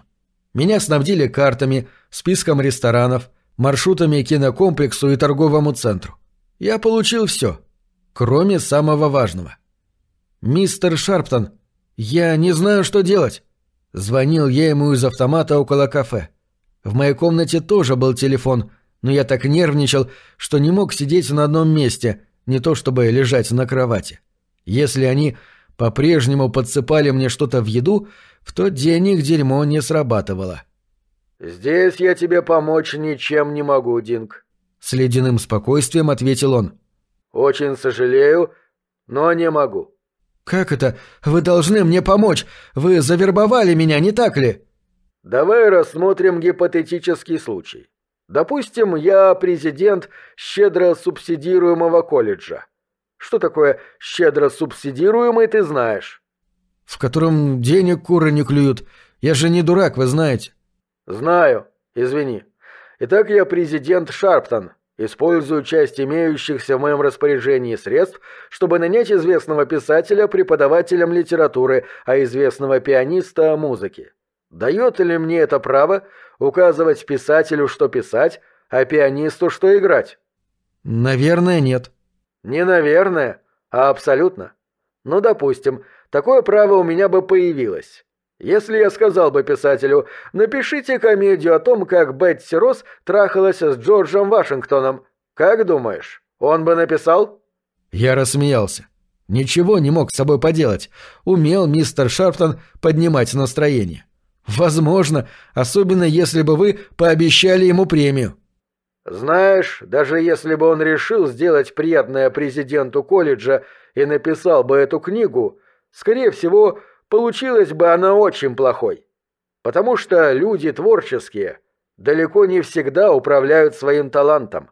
А когда создают лучшие свои творения, вообще не управляют. Просто следуют за ним, закрыв глаза, с криком «Даешь!» «Но какое отношение имеет все это ко мне? Послушайте, мистер Шаптон, я пытаюсь представить себе, что буду делать в Колумбия-Сити, и вижу пустоту. Вы говорили «помогать людям», «улучшать мир», «избавляться от шкиперов Бранигенов». Все это прекрасно, да только я не знаю, как это делается». «Узнаешь», — ответил он. «Когда придет время, узнаешь». Вы говорили, что Энтуорт и его парни сфокусируют мой талант, отточат его. В основном они только тестировали меня, я даже подумал, что вновь попал в школу. Или все это в моем подсознании? Все на твердом диске?» «Доверься мне, Динг», — ответил он. «Доверься мне и доверься себе». Я доверился. И доверялся до самого последнего времени. Когда что-то пошло не так. Просто наперекосяк. Этот чертов Неф. Все плохое началось с него. И если уж мне пришлось бы увидеть его фотографию, я бы хотел увидеть ту, на которой он не улыбался. В первую неделю пребывания в Коламбия-Сити я ничего не делал. Абсолютно ничего. Когда появлялись уборщики, я просто уходил в парк, сидел на скамье, и мне казалось, что весь мир наблюдает за мной. Когда наступил четверг, то есть пришло время избавляться от лишних денег, я не нашел ничего лучшего, как бросить 50 долларов в мусорорубочную машину. Помните, для меня все было вновь.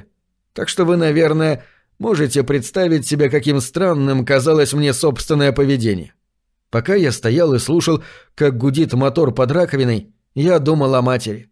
Если бы она оказалась рядом и увидела, что я делаю, ткнула бы мясницким ножом, чтобы остановить. Я же выбрасывал псу под хвост десять двадцатизначных игр бинго или двадцать тех, где требовалось полностью закрыть карточку. И спал я в ту неделю ужасно. То и дело заходил в маленький кабинет. Не хотел, но ноги сами влекли меня. Говорят же, что убийца неудержимо тянет на место преступления. Вставал на пороге, смотрел на темный экран компьютера, модем Global Village и потело чувство вины, раздражения и страха. Потел, даже глядя на чистый, без единого клочка бумаги стол. Буквально слышал, как стены бормочут «Нет, здесь никто ничего не делает» и «Где же этот тип, который должен тут работать?» Мне снились кошмары. В одном раздался звонок в дверь, и, открыв ее, я увидел на пороге мистера Шарптона с наручниками. «Вытяни руки перед собой, Динг», — говорит он. «Мы думали, что ты Тренни, но, очевидно, ошиблись. Такое случается». «Нет, я Тренни», — отвечаю я. «Тренни, но мне нужно немножко времени, чтобы пообвыкнуть. Я никогда не уезжал из дому, не забывайте об этом». «У тебя было пять лет». Я в ступоре. Не могу в это поверить, но где-то в душе сознаю, что это правда.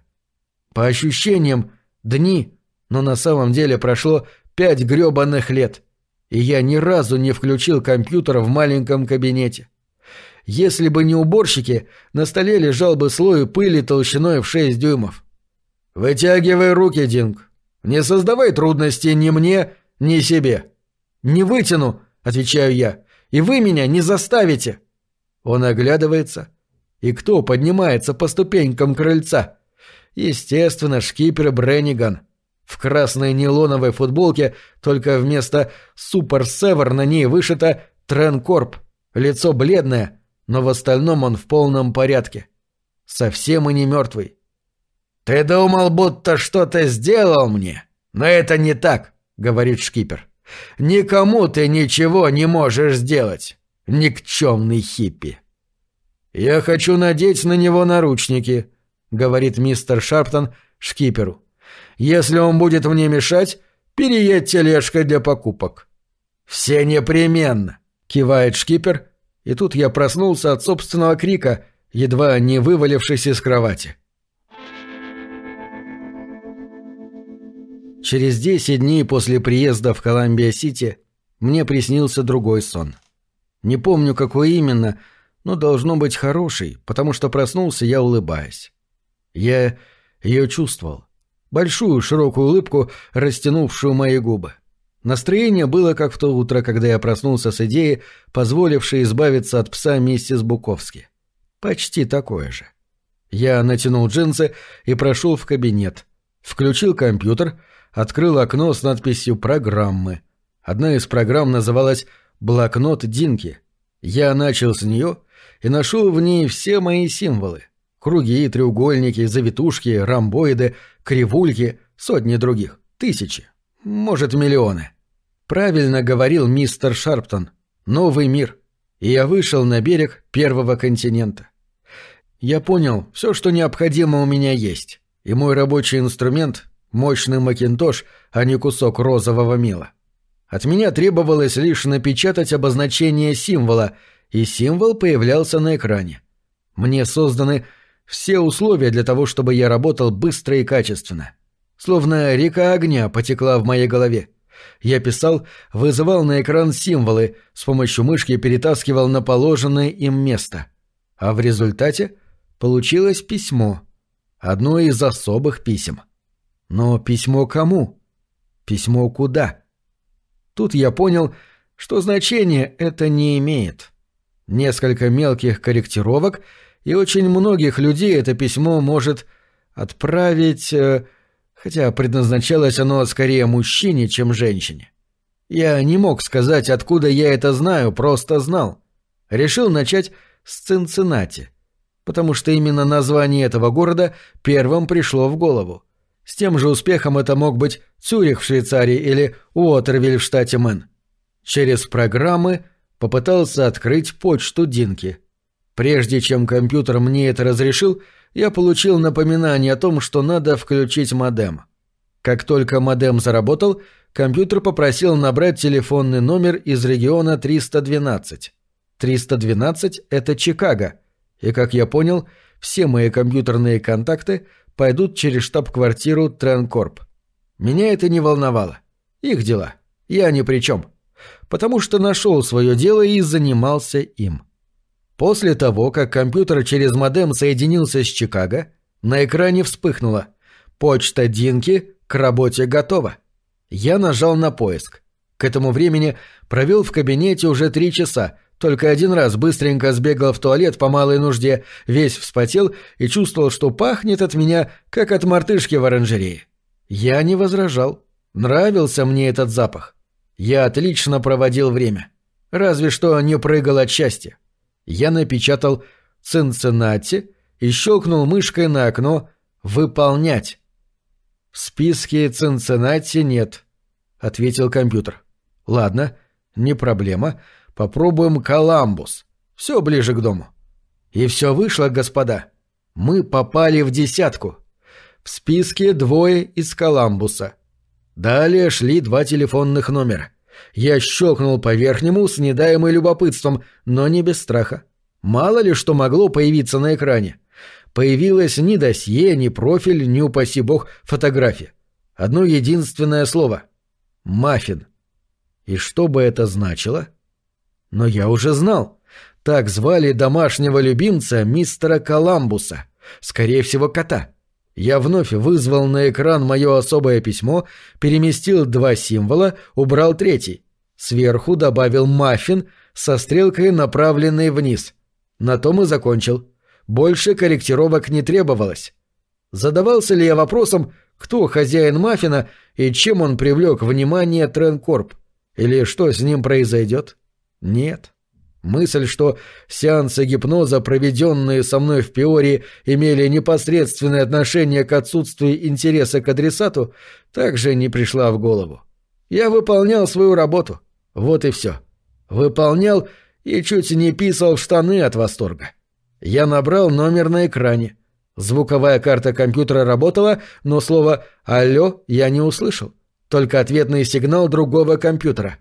И славненько — Жизнь гораздо проще, если из нее исключается человеческий фактор.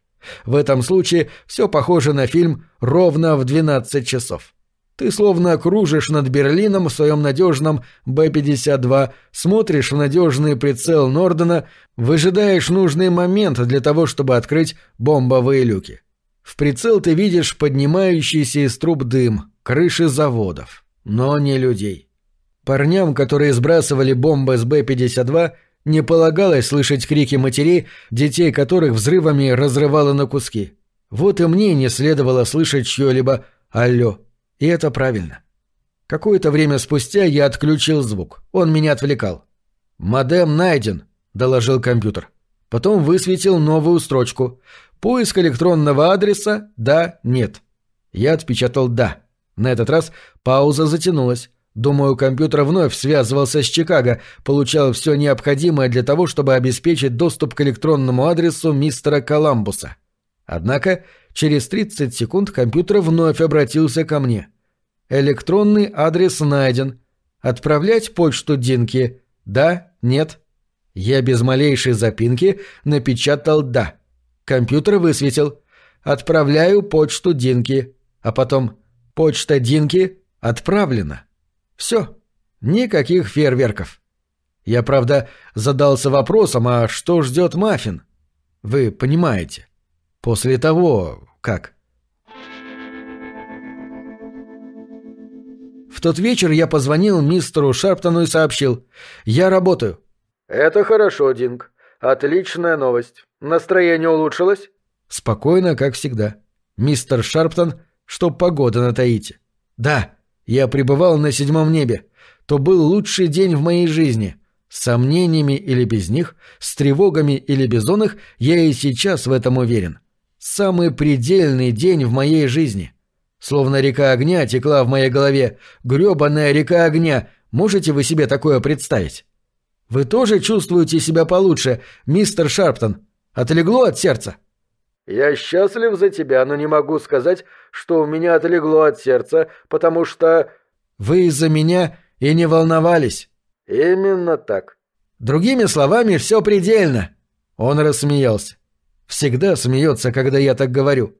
«Совершенно верно, Динг. Все предельно». «Мистер Шарптон». «Да». Электронная почта доступна не только адресату.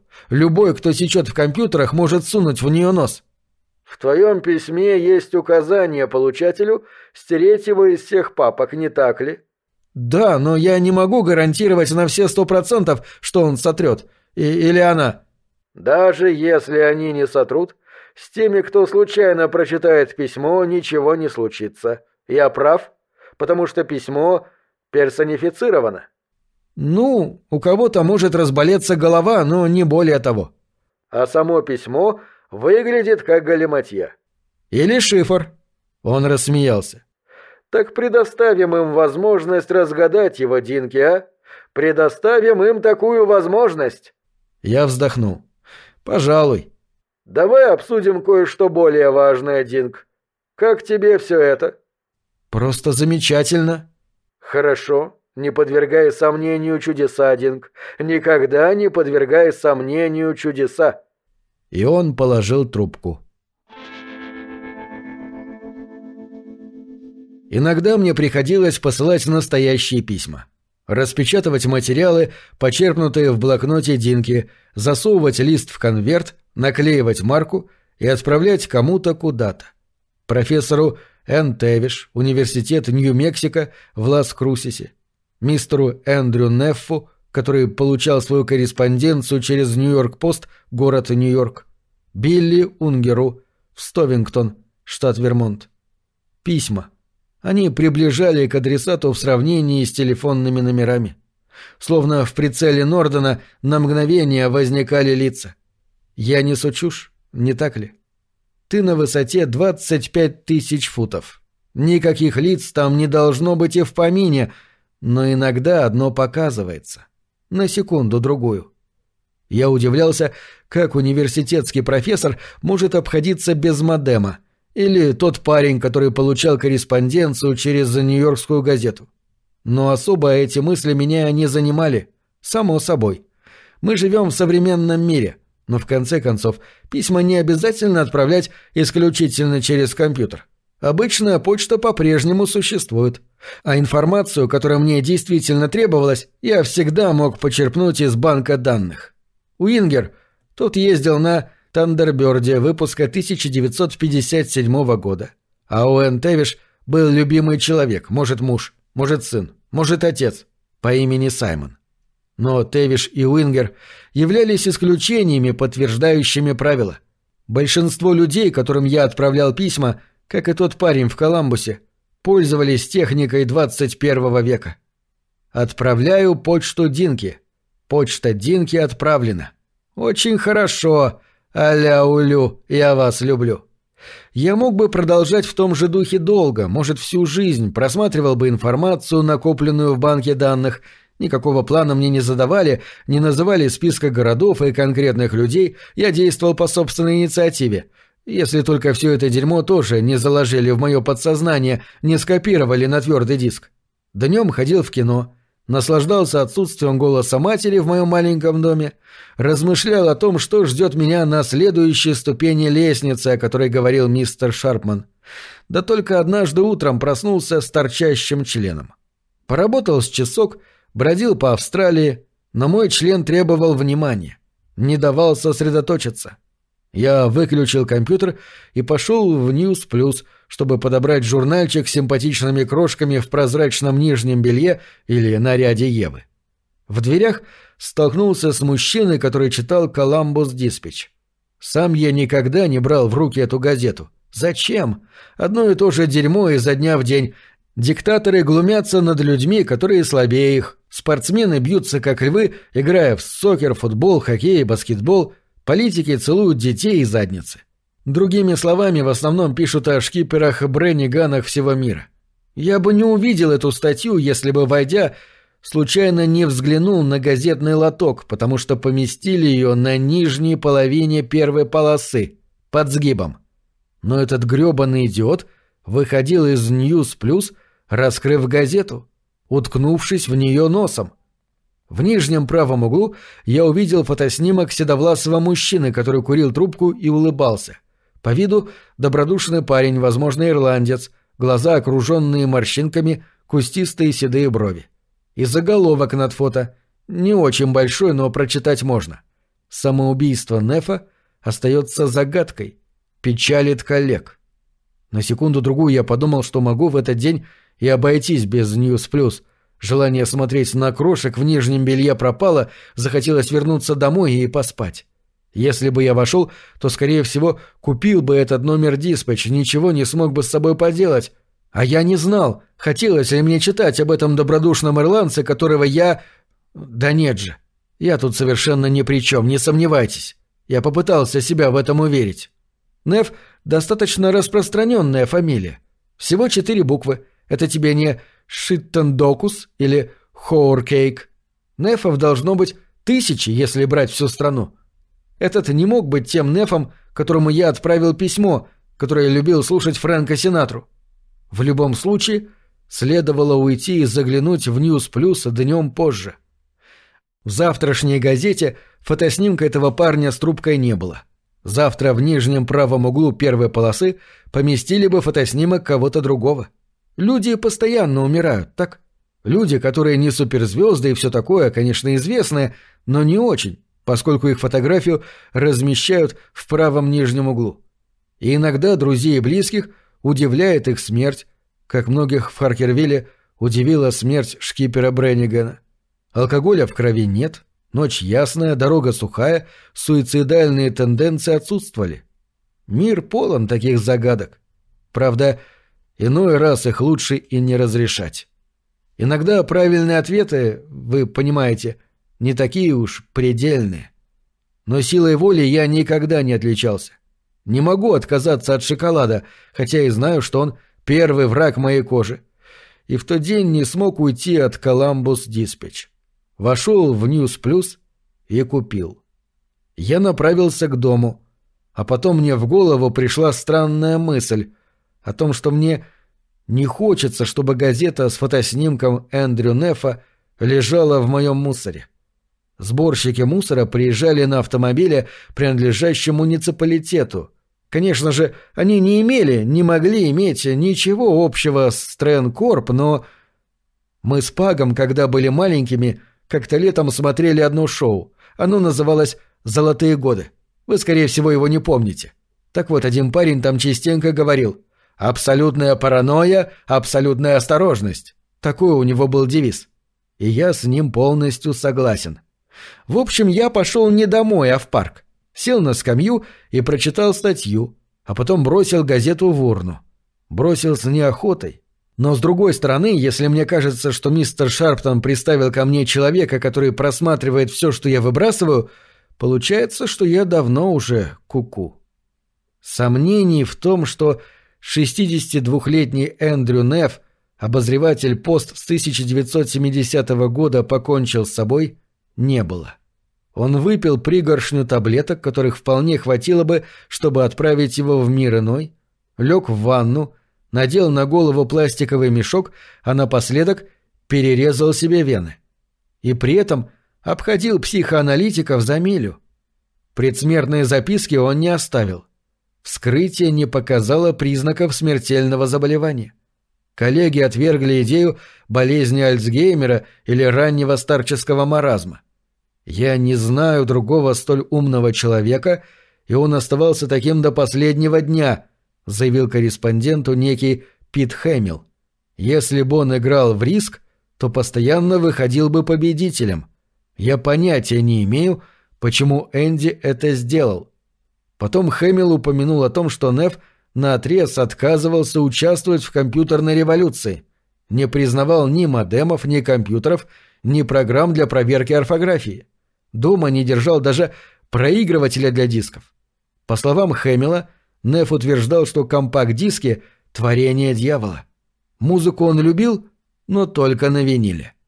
Этот Хэмилл и еще несколько человек подчеркивали, что Неф всегда пребывал в неизменно хорошем настроении, вплоть до того дня, когда он сдал последнюю колонку, пошел домой, выпил стакан вина и наложил на себя руки. Обозреватель светской хроники «Пост» Лиз Смит сказала, что перед уходом Неф посидел с ней в кафетерии. Они съели по куску яблочного пирога. Ей показалось, что Неф немного рассеян, но в остальном такой же, как всегда. Естественно, рассеян. Будешь рассеянным, получив мое особое письмо со всеми этими кружочками, треугольниками, завитушками, кривульками и еще бог знает чем. Колонка Нефа, далее сообщалось в статье, отличалась от остальных материалов пост, газеты высшей степени консервативной. Я не говорю, что они призывали сажать на электрический стол людей, которые три года получали пособие по безработице и по-прежнему не могли найти работу но наверняка намекали, что и такая точка зрения имеет право на существование. Полагаю, Нев был тамошним либералом. Колонка его называлась «Всего понемногу», и речь в ней шла об изменении отношения властей Нью-Йорка к юным матерям-одиночкам. Предполагалось, что аборт не всегда убийство, что дома для бедных, возводимые на окраинах, рассадник ненависти. К концу жизни он писал колонки о военных расходах, спрашивал, почему теперь, когда из всех врагов остались одни террористы, нужно вбухивать в армию миллиарды долларов. Говорил, что лучше потратить эти деньги на создание новых рабочих мест. И читатели пост, которые распяли бы любого, кто осмелился такое сказать, доброжелательно воспринимали эти идеи в интерпретации Нефа. Потому что он писал с юмором, потому что он умел обаять читателя, Возможно, потому что он был ирландцем и завсегдатаем Барни Стоун. Все так. Я пошел домой. Где-то по пути я повернул и в результате попал в центр города. Зигзагами переходил с бульвара на бульвар, пересекал автостоянки и все время видел Эндрю Нефа, усаживающегося в ванну и надевающего на голову пластиковый мешок. Большой, объемом с галлон, какими пользуются, чтобы сохранить свежими продукты, купленные в супермаркете днем или двумя раньше. Он был веселым, обаятельным, и я его убил. Неф прочитал мое письмо, и его содержимое пробралось ему в голову. Судя по тому, что я прочитал в газете, специальным словам и символам потребовалось три дня, чтобы уломать его проглотить таблетки и забраться в ванну. «Он этого заслужил», так отозвался мистер Шарптон о шкипере. И не ошибся в тот раз. Но заслужил ли Неф? Что он такого натворил, о чем я не знаю и чего не раскопали газетчики? Растлевал маленьких девочек? Толкал наркотики? Издевался над слабыми, как шкипер? Бегал за кем-то с тележкой для продуктов? «Мы хотим помочь тебе использовать твой талант на благо всего человечества», говорил мистер Шарптон, и, конечно, сие не означало, что я должен отправлять к праотцам человека, который полагал, что Министерство обороны тратит слишком много денег на умные бомбы. Такая паранойя только для фильмов с участием Стивена Сигала и Жан-Клод Ван Дамма. Потом у меня возникла идея. Пугающая идея. Может, Тренкорп хотела его смерти именно потому, что он высказывал такую точку зрения? Может, они хотели его смерти, потому что люди, не те люди, начинали думать о том, что он писал?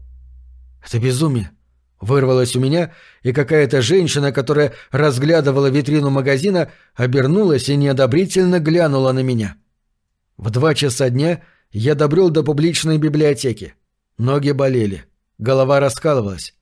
Я все видел этого парня в ванной с морщинистыми стариковскими сиськами, заросшими седым волосом. От обаятельной улыбки не осталось и следа, ее заменил взгляд, устремленный в никуда — я видел, как он надевает на голову пластиковый мешок, бубня под нос мелодию песни Синатры, возможно, «Мой путь», как затягивает тесемки мешка на шее, как смотрит сквозь него, словно сквозь запотевшее окно, чтобы убедиться, что режет вены, а не что-то еще.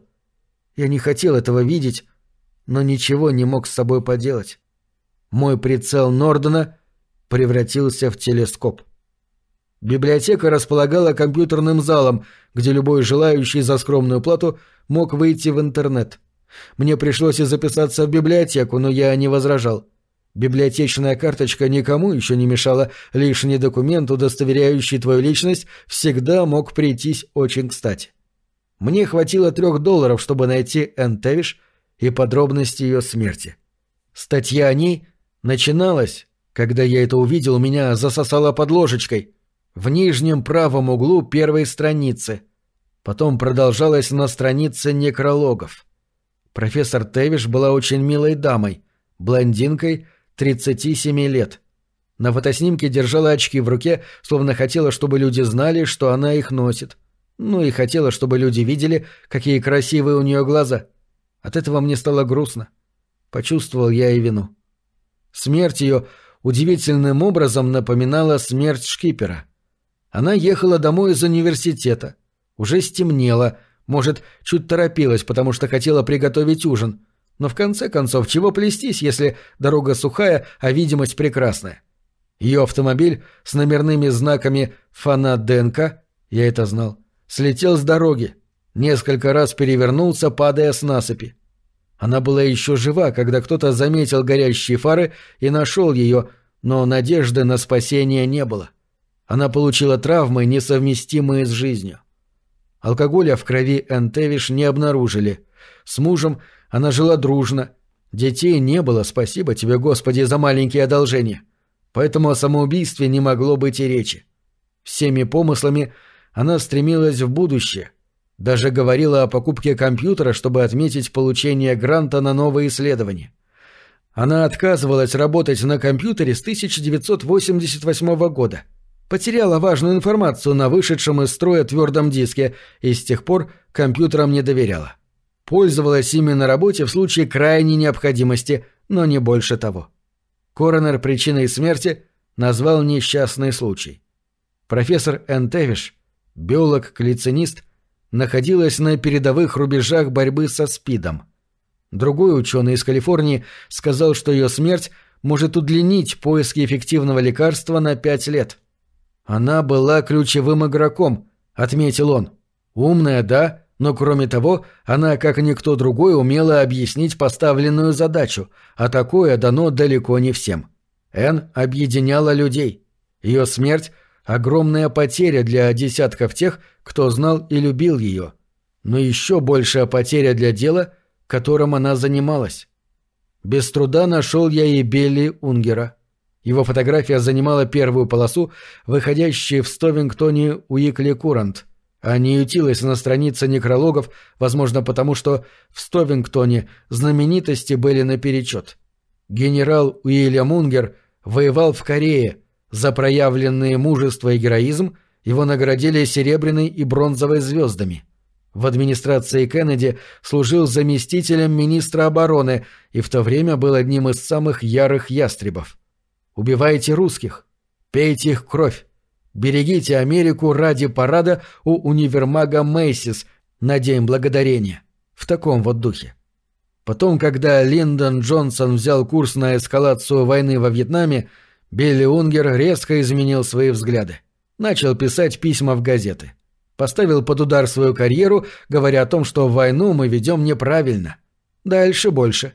Заявил, что не следовало воевать во Вьетнаме.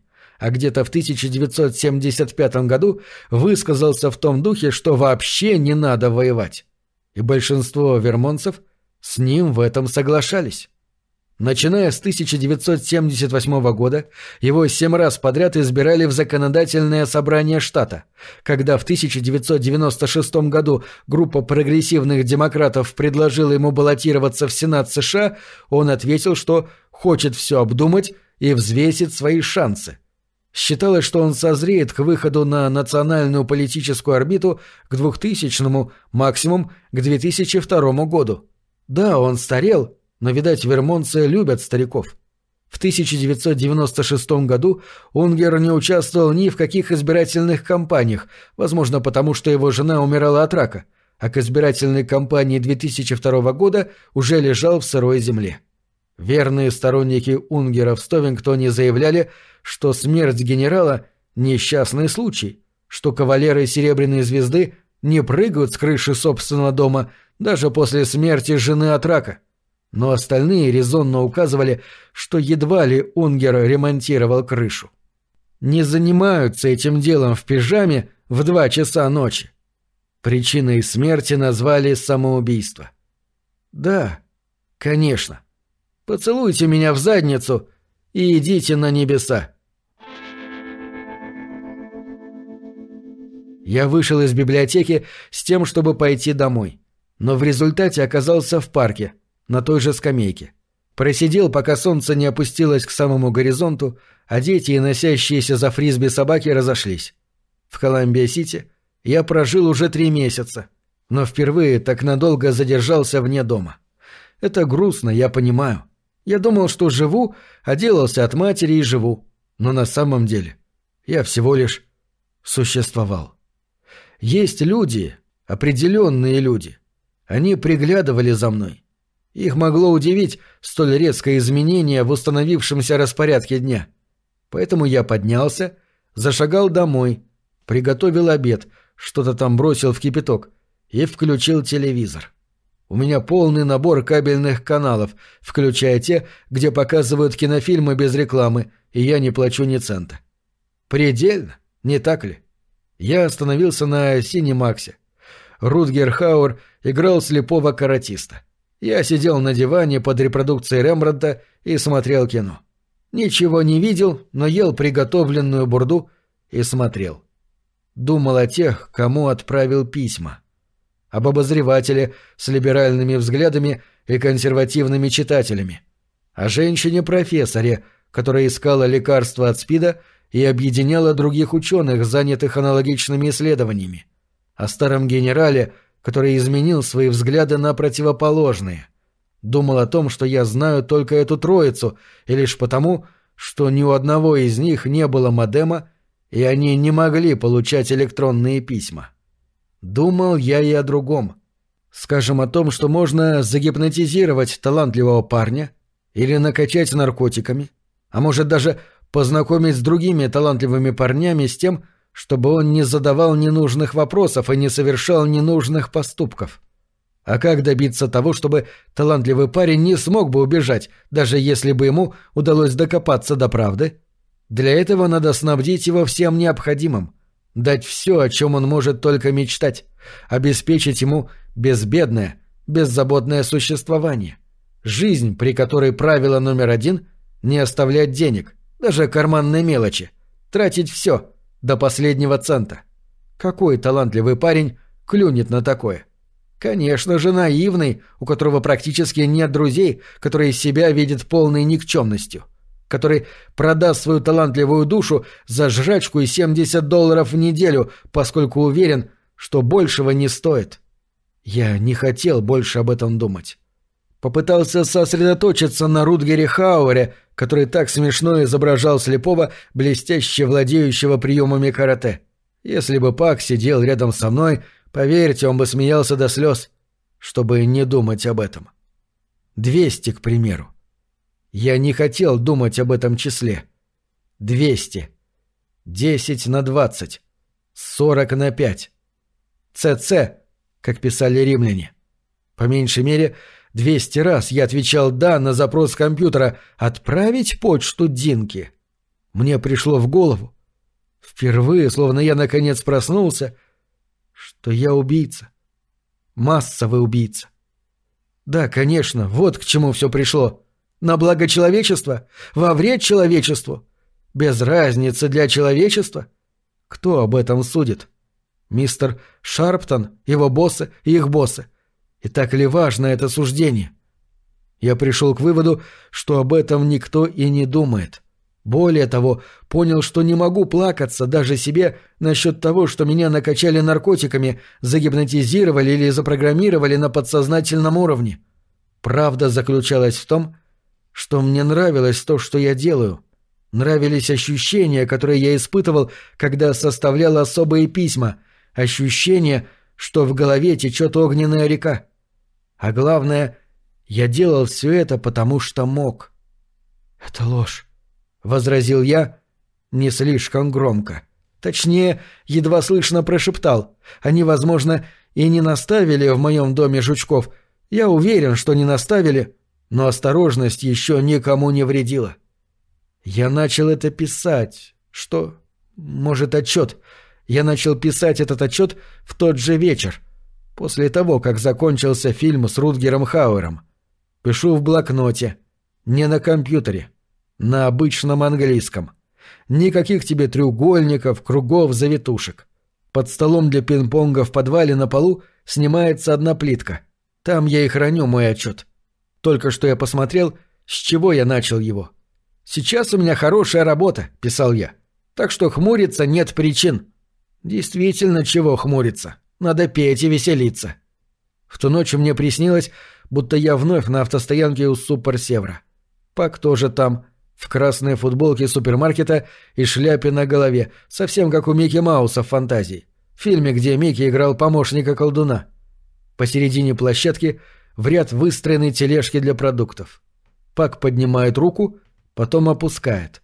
Всякий раз, когда он это делает, одна тележка начинает катиться сама по себе, набирает скорость, летит вперед, пока не врезается в кирпичную стену супермаркета.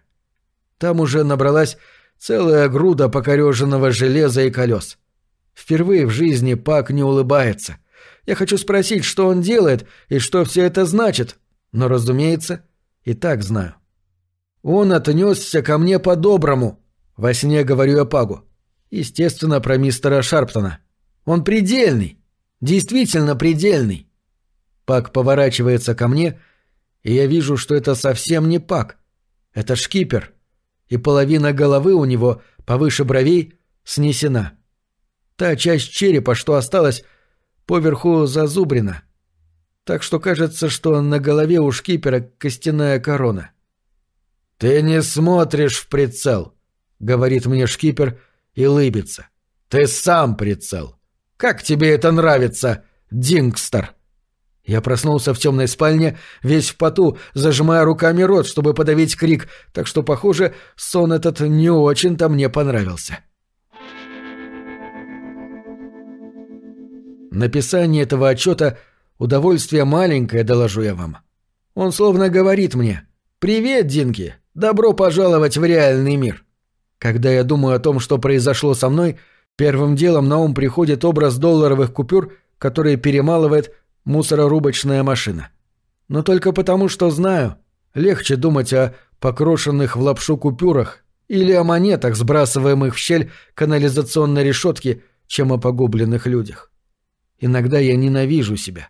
Случается, боюсь за свою бессмертную душу, если она у меня есть, а бывает, просто злюсь.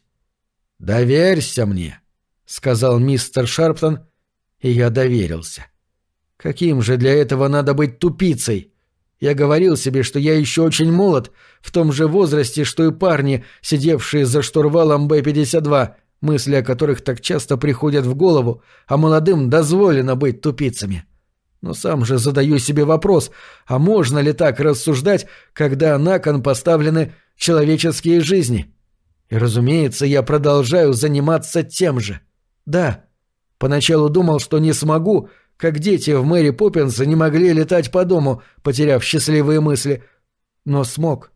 Как только я садился к компьютеру, и река огня начинала течь, забывал обо всем. Понимаете? По крайней мере, я надеюсь, что вы поймете. Именно для этого я появился на планете Земля. Разве можно винить меня за деяния, без которых я не могу жить, которые являются моей неотъемлемой частью? Ответ «да». Абсолютно. Но я не могу остановиться. Иногда сам себя убеждаю, если остановлюсь хотя бы на день, они поймут, что я в курсе, и уборщики заглянут в мой дом в неурочный час. Не для того, чтобы прибраться. Уберут меня. Но причина, конечно, в другом. Я делаю это, потому что превратился в наркомана, вроде тех, кто курит крэк или колется в темных проулках. Я делаю это, потому что меня тянет к компьютеру, потому что когда я работаю с блокнотом Динки, все предельно. Я в ловушке. И виноват во всем тот кретин, что вышел из Ньюс Плюс, развернув гребанную диспетч. Если бы не он, я бы по-прежнему видел в перекрестье прицела лишь подернутые облаками дома. Не людей, просто цели. «Ты прицел!» — сказал мне во сне шкипер. «Ты прицел, Дингстер!» Это правда. Я знаю. Ужасная, но правда. Я всего лишь инструмент, окуляр, через который смотрит настоящий бомбардир. Всего лишь кнопка, которую он нажимает. Какой бомбардир, спросите вы? Да перестаньте. Не надо задавать глупых вопросов. Я думал о том, чтобы позвонить ему, но, боюсь, этот звонок дорого мне обойдется. Или нет? «Звони мне в любое время, Динг. Хоть в три часа ночи». Вот что сказал мне этот человек, и, думаю, на полном серьезе. Насчет этого, во всяком случае, мистер Шарптон не лгал. Я думал о том, чтобы позвонить ему и сказать, «Знаете, что причиняет мне самую сильную боль, мистер Шарптон? Вы говорили, что я смогу сделать мир лучше, избавляя его от таких людей, как Шкипер. Но беда в том, что вы и же с вами те самые шкиперы. Само собой. А я тележка для продуктов, с которой они гоняются за людьми, смеясь и ревя, как гоночный автомобиль.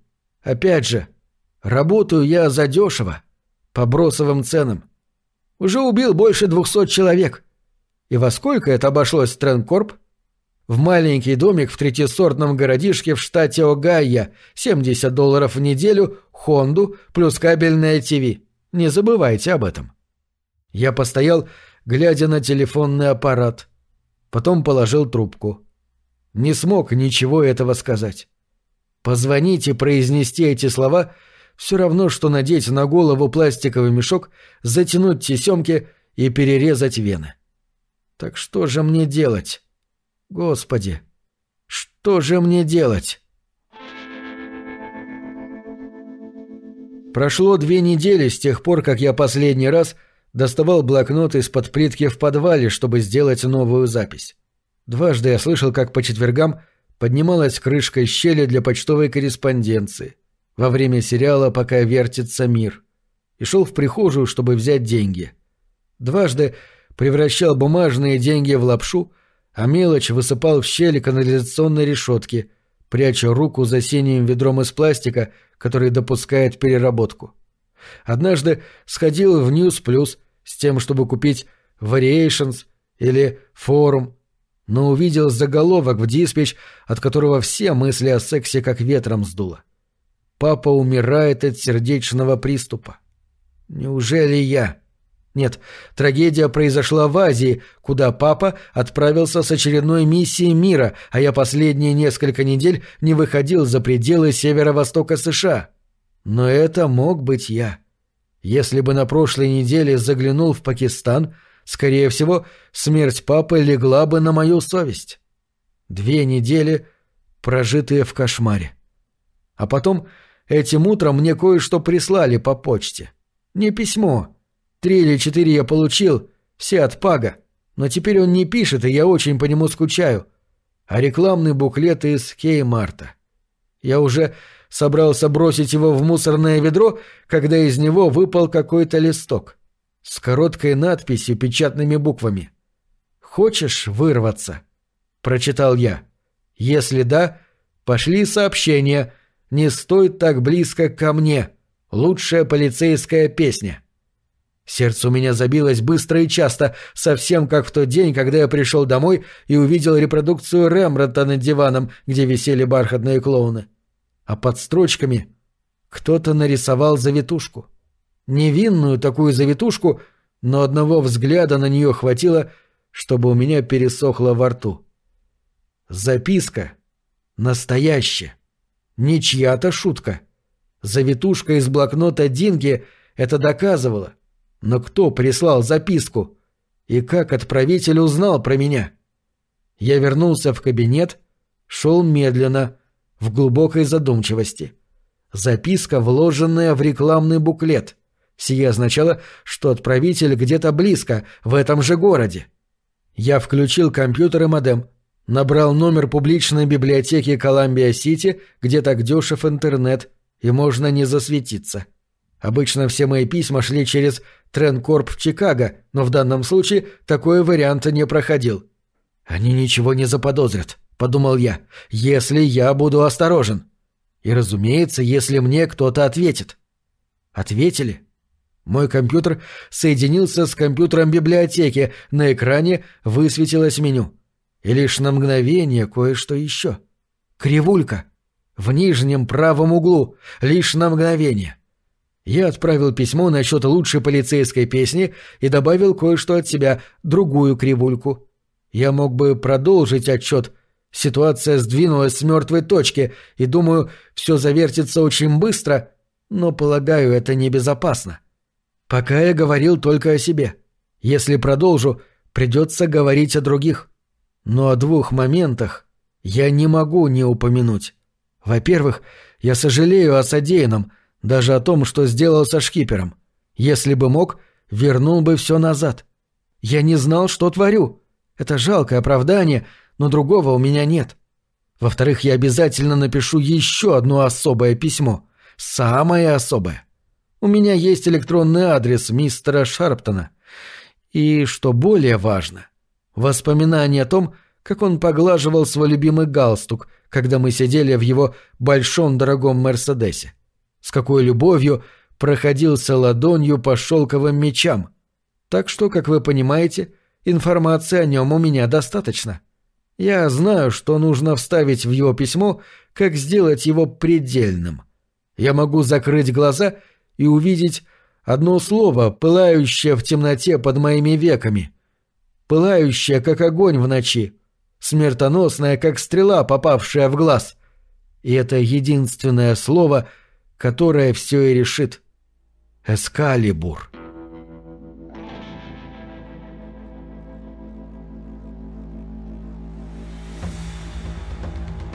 Стивен Кинг. То, что надо. Читал Олег Булдаков.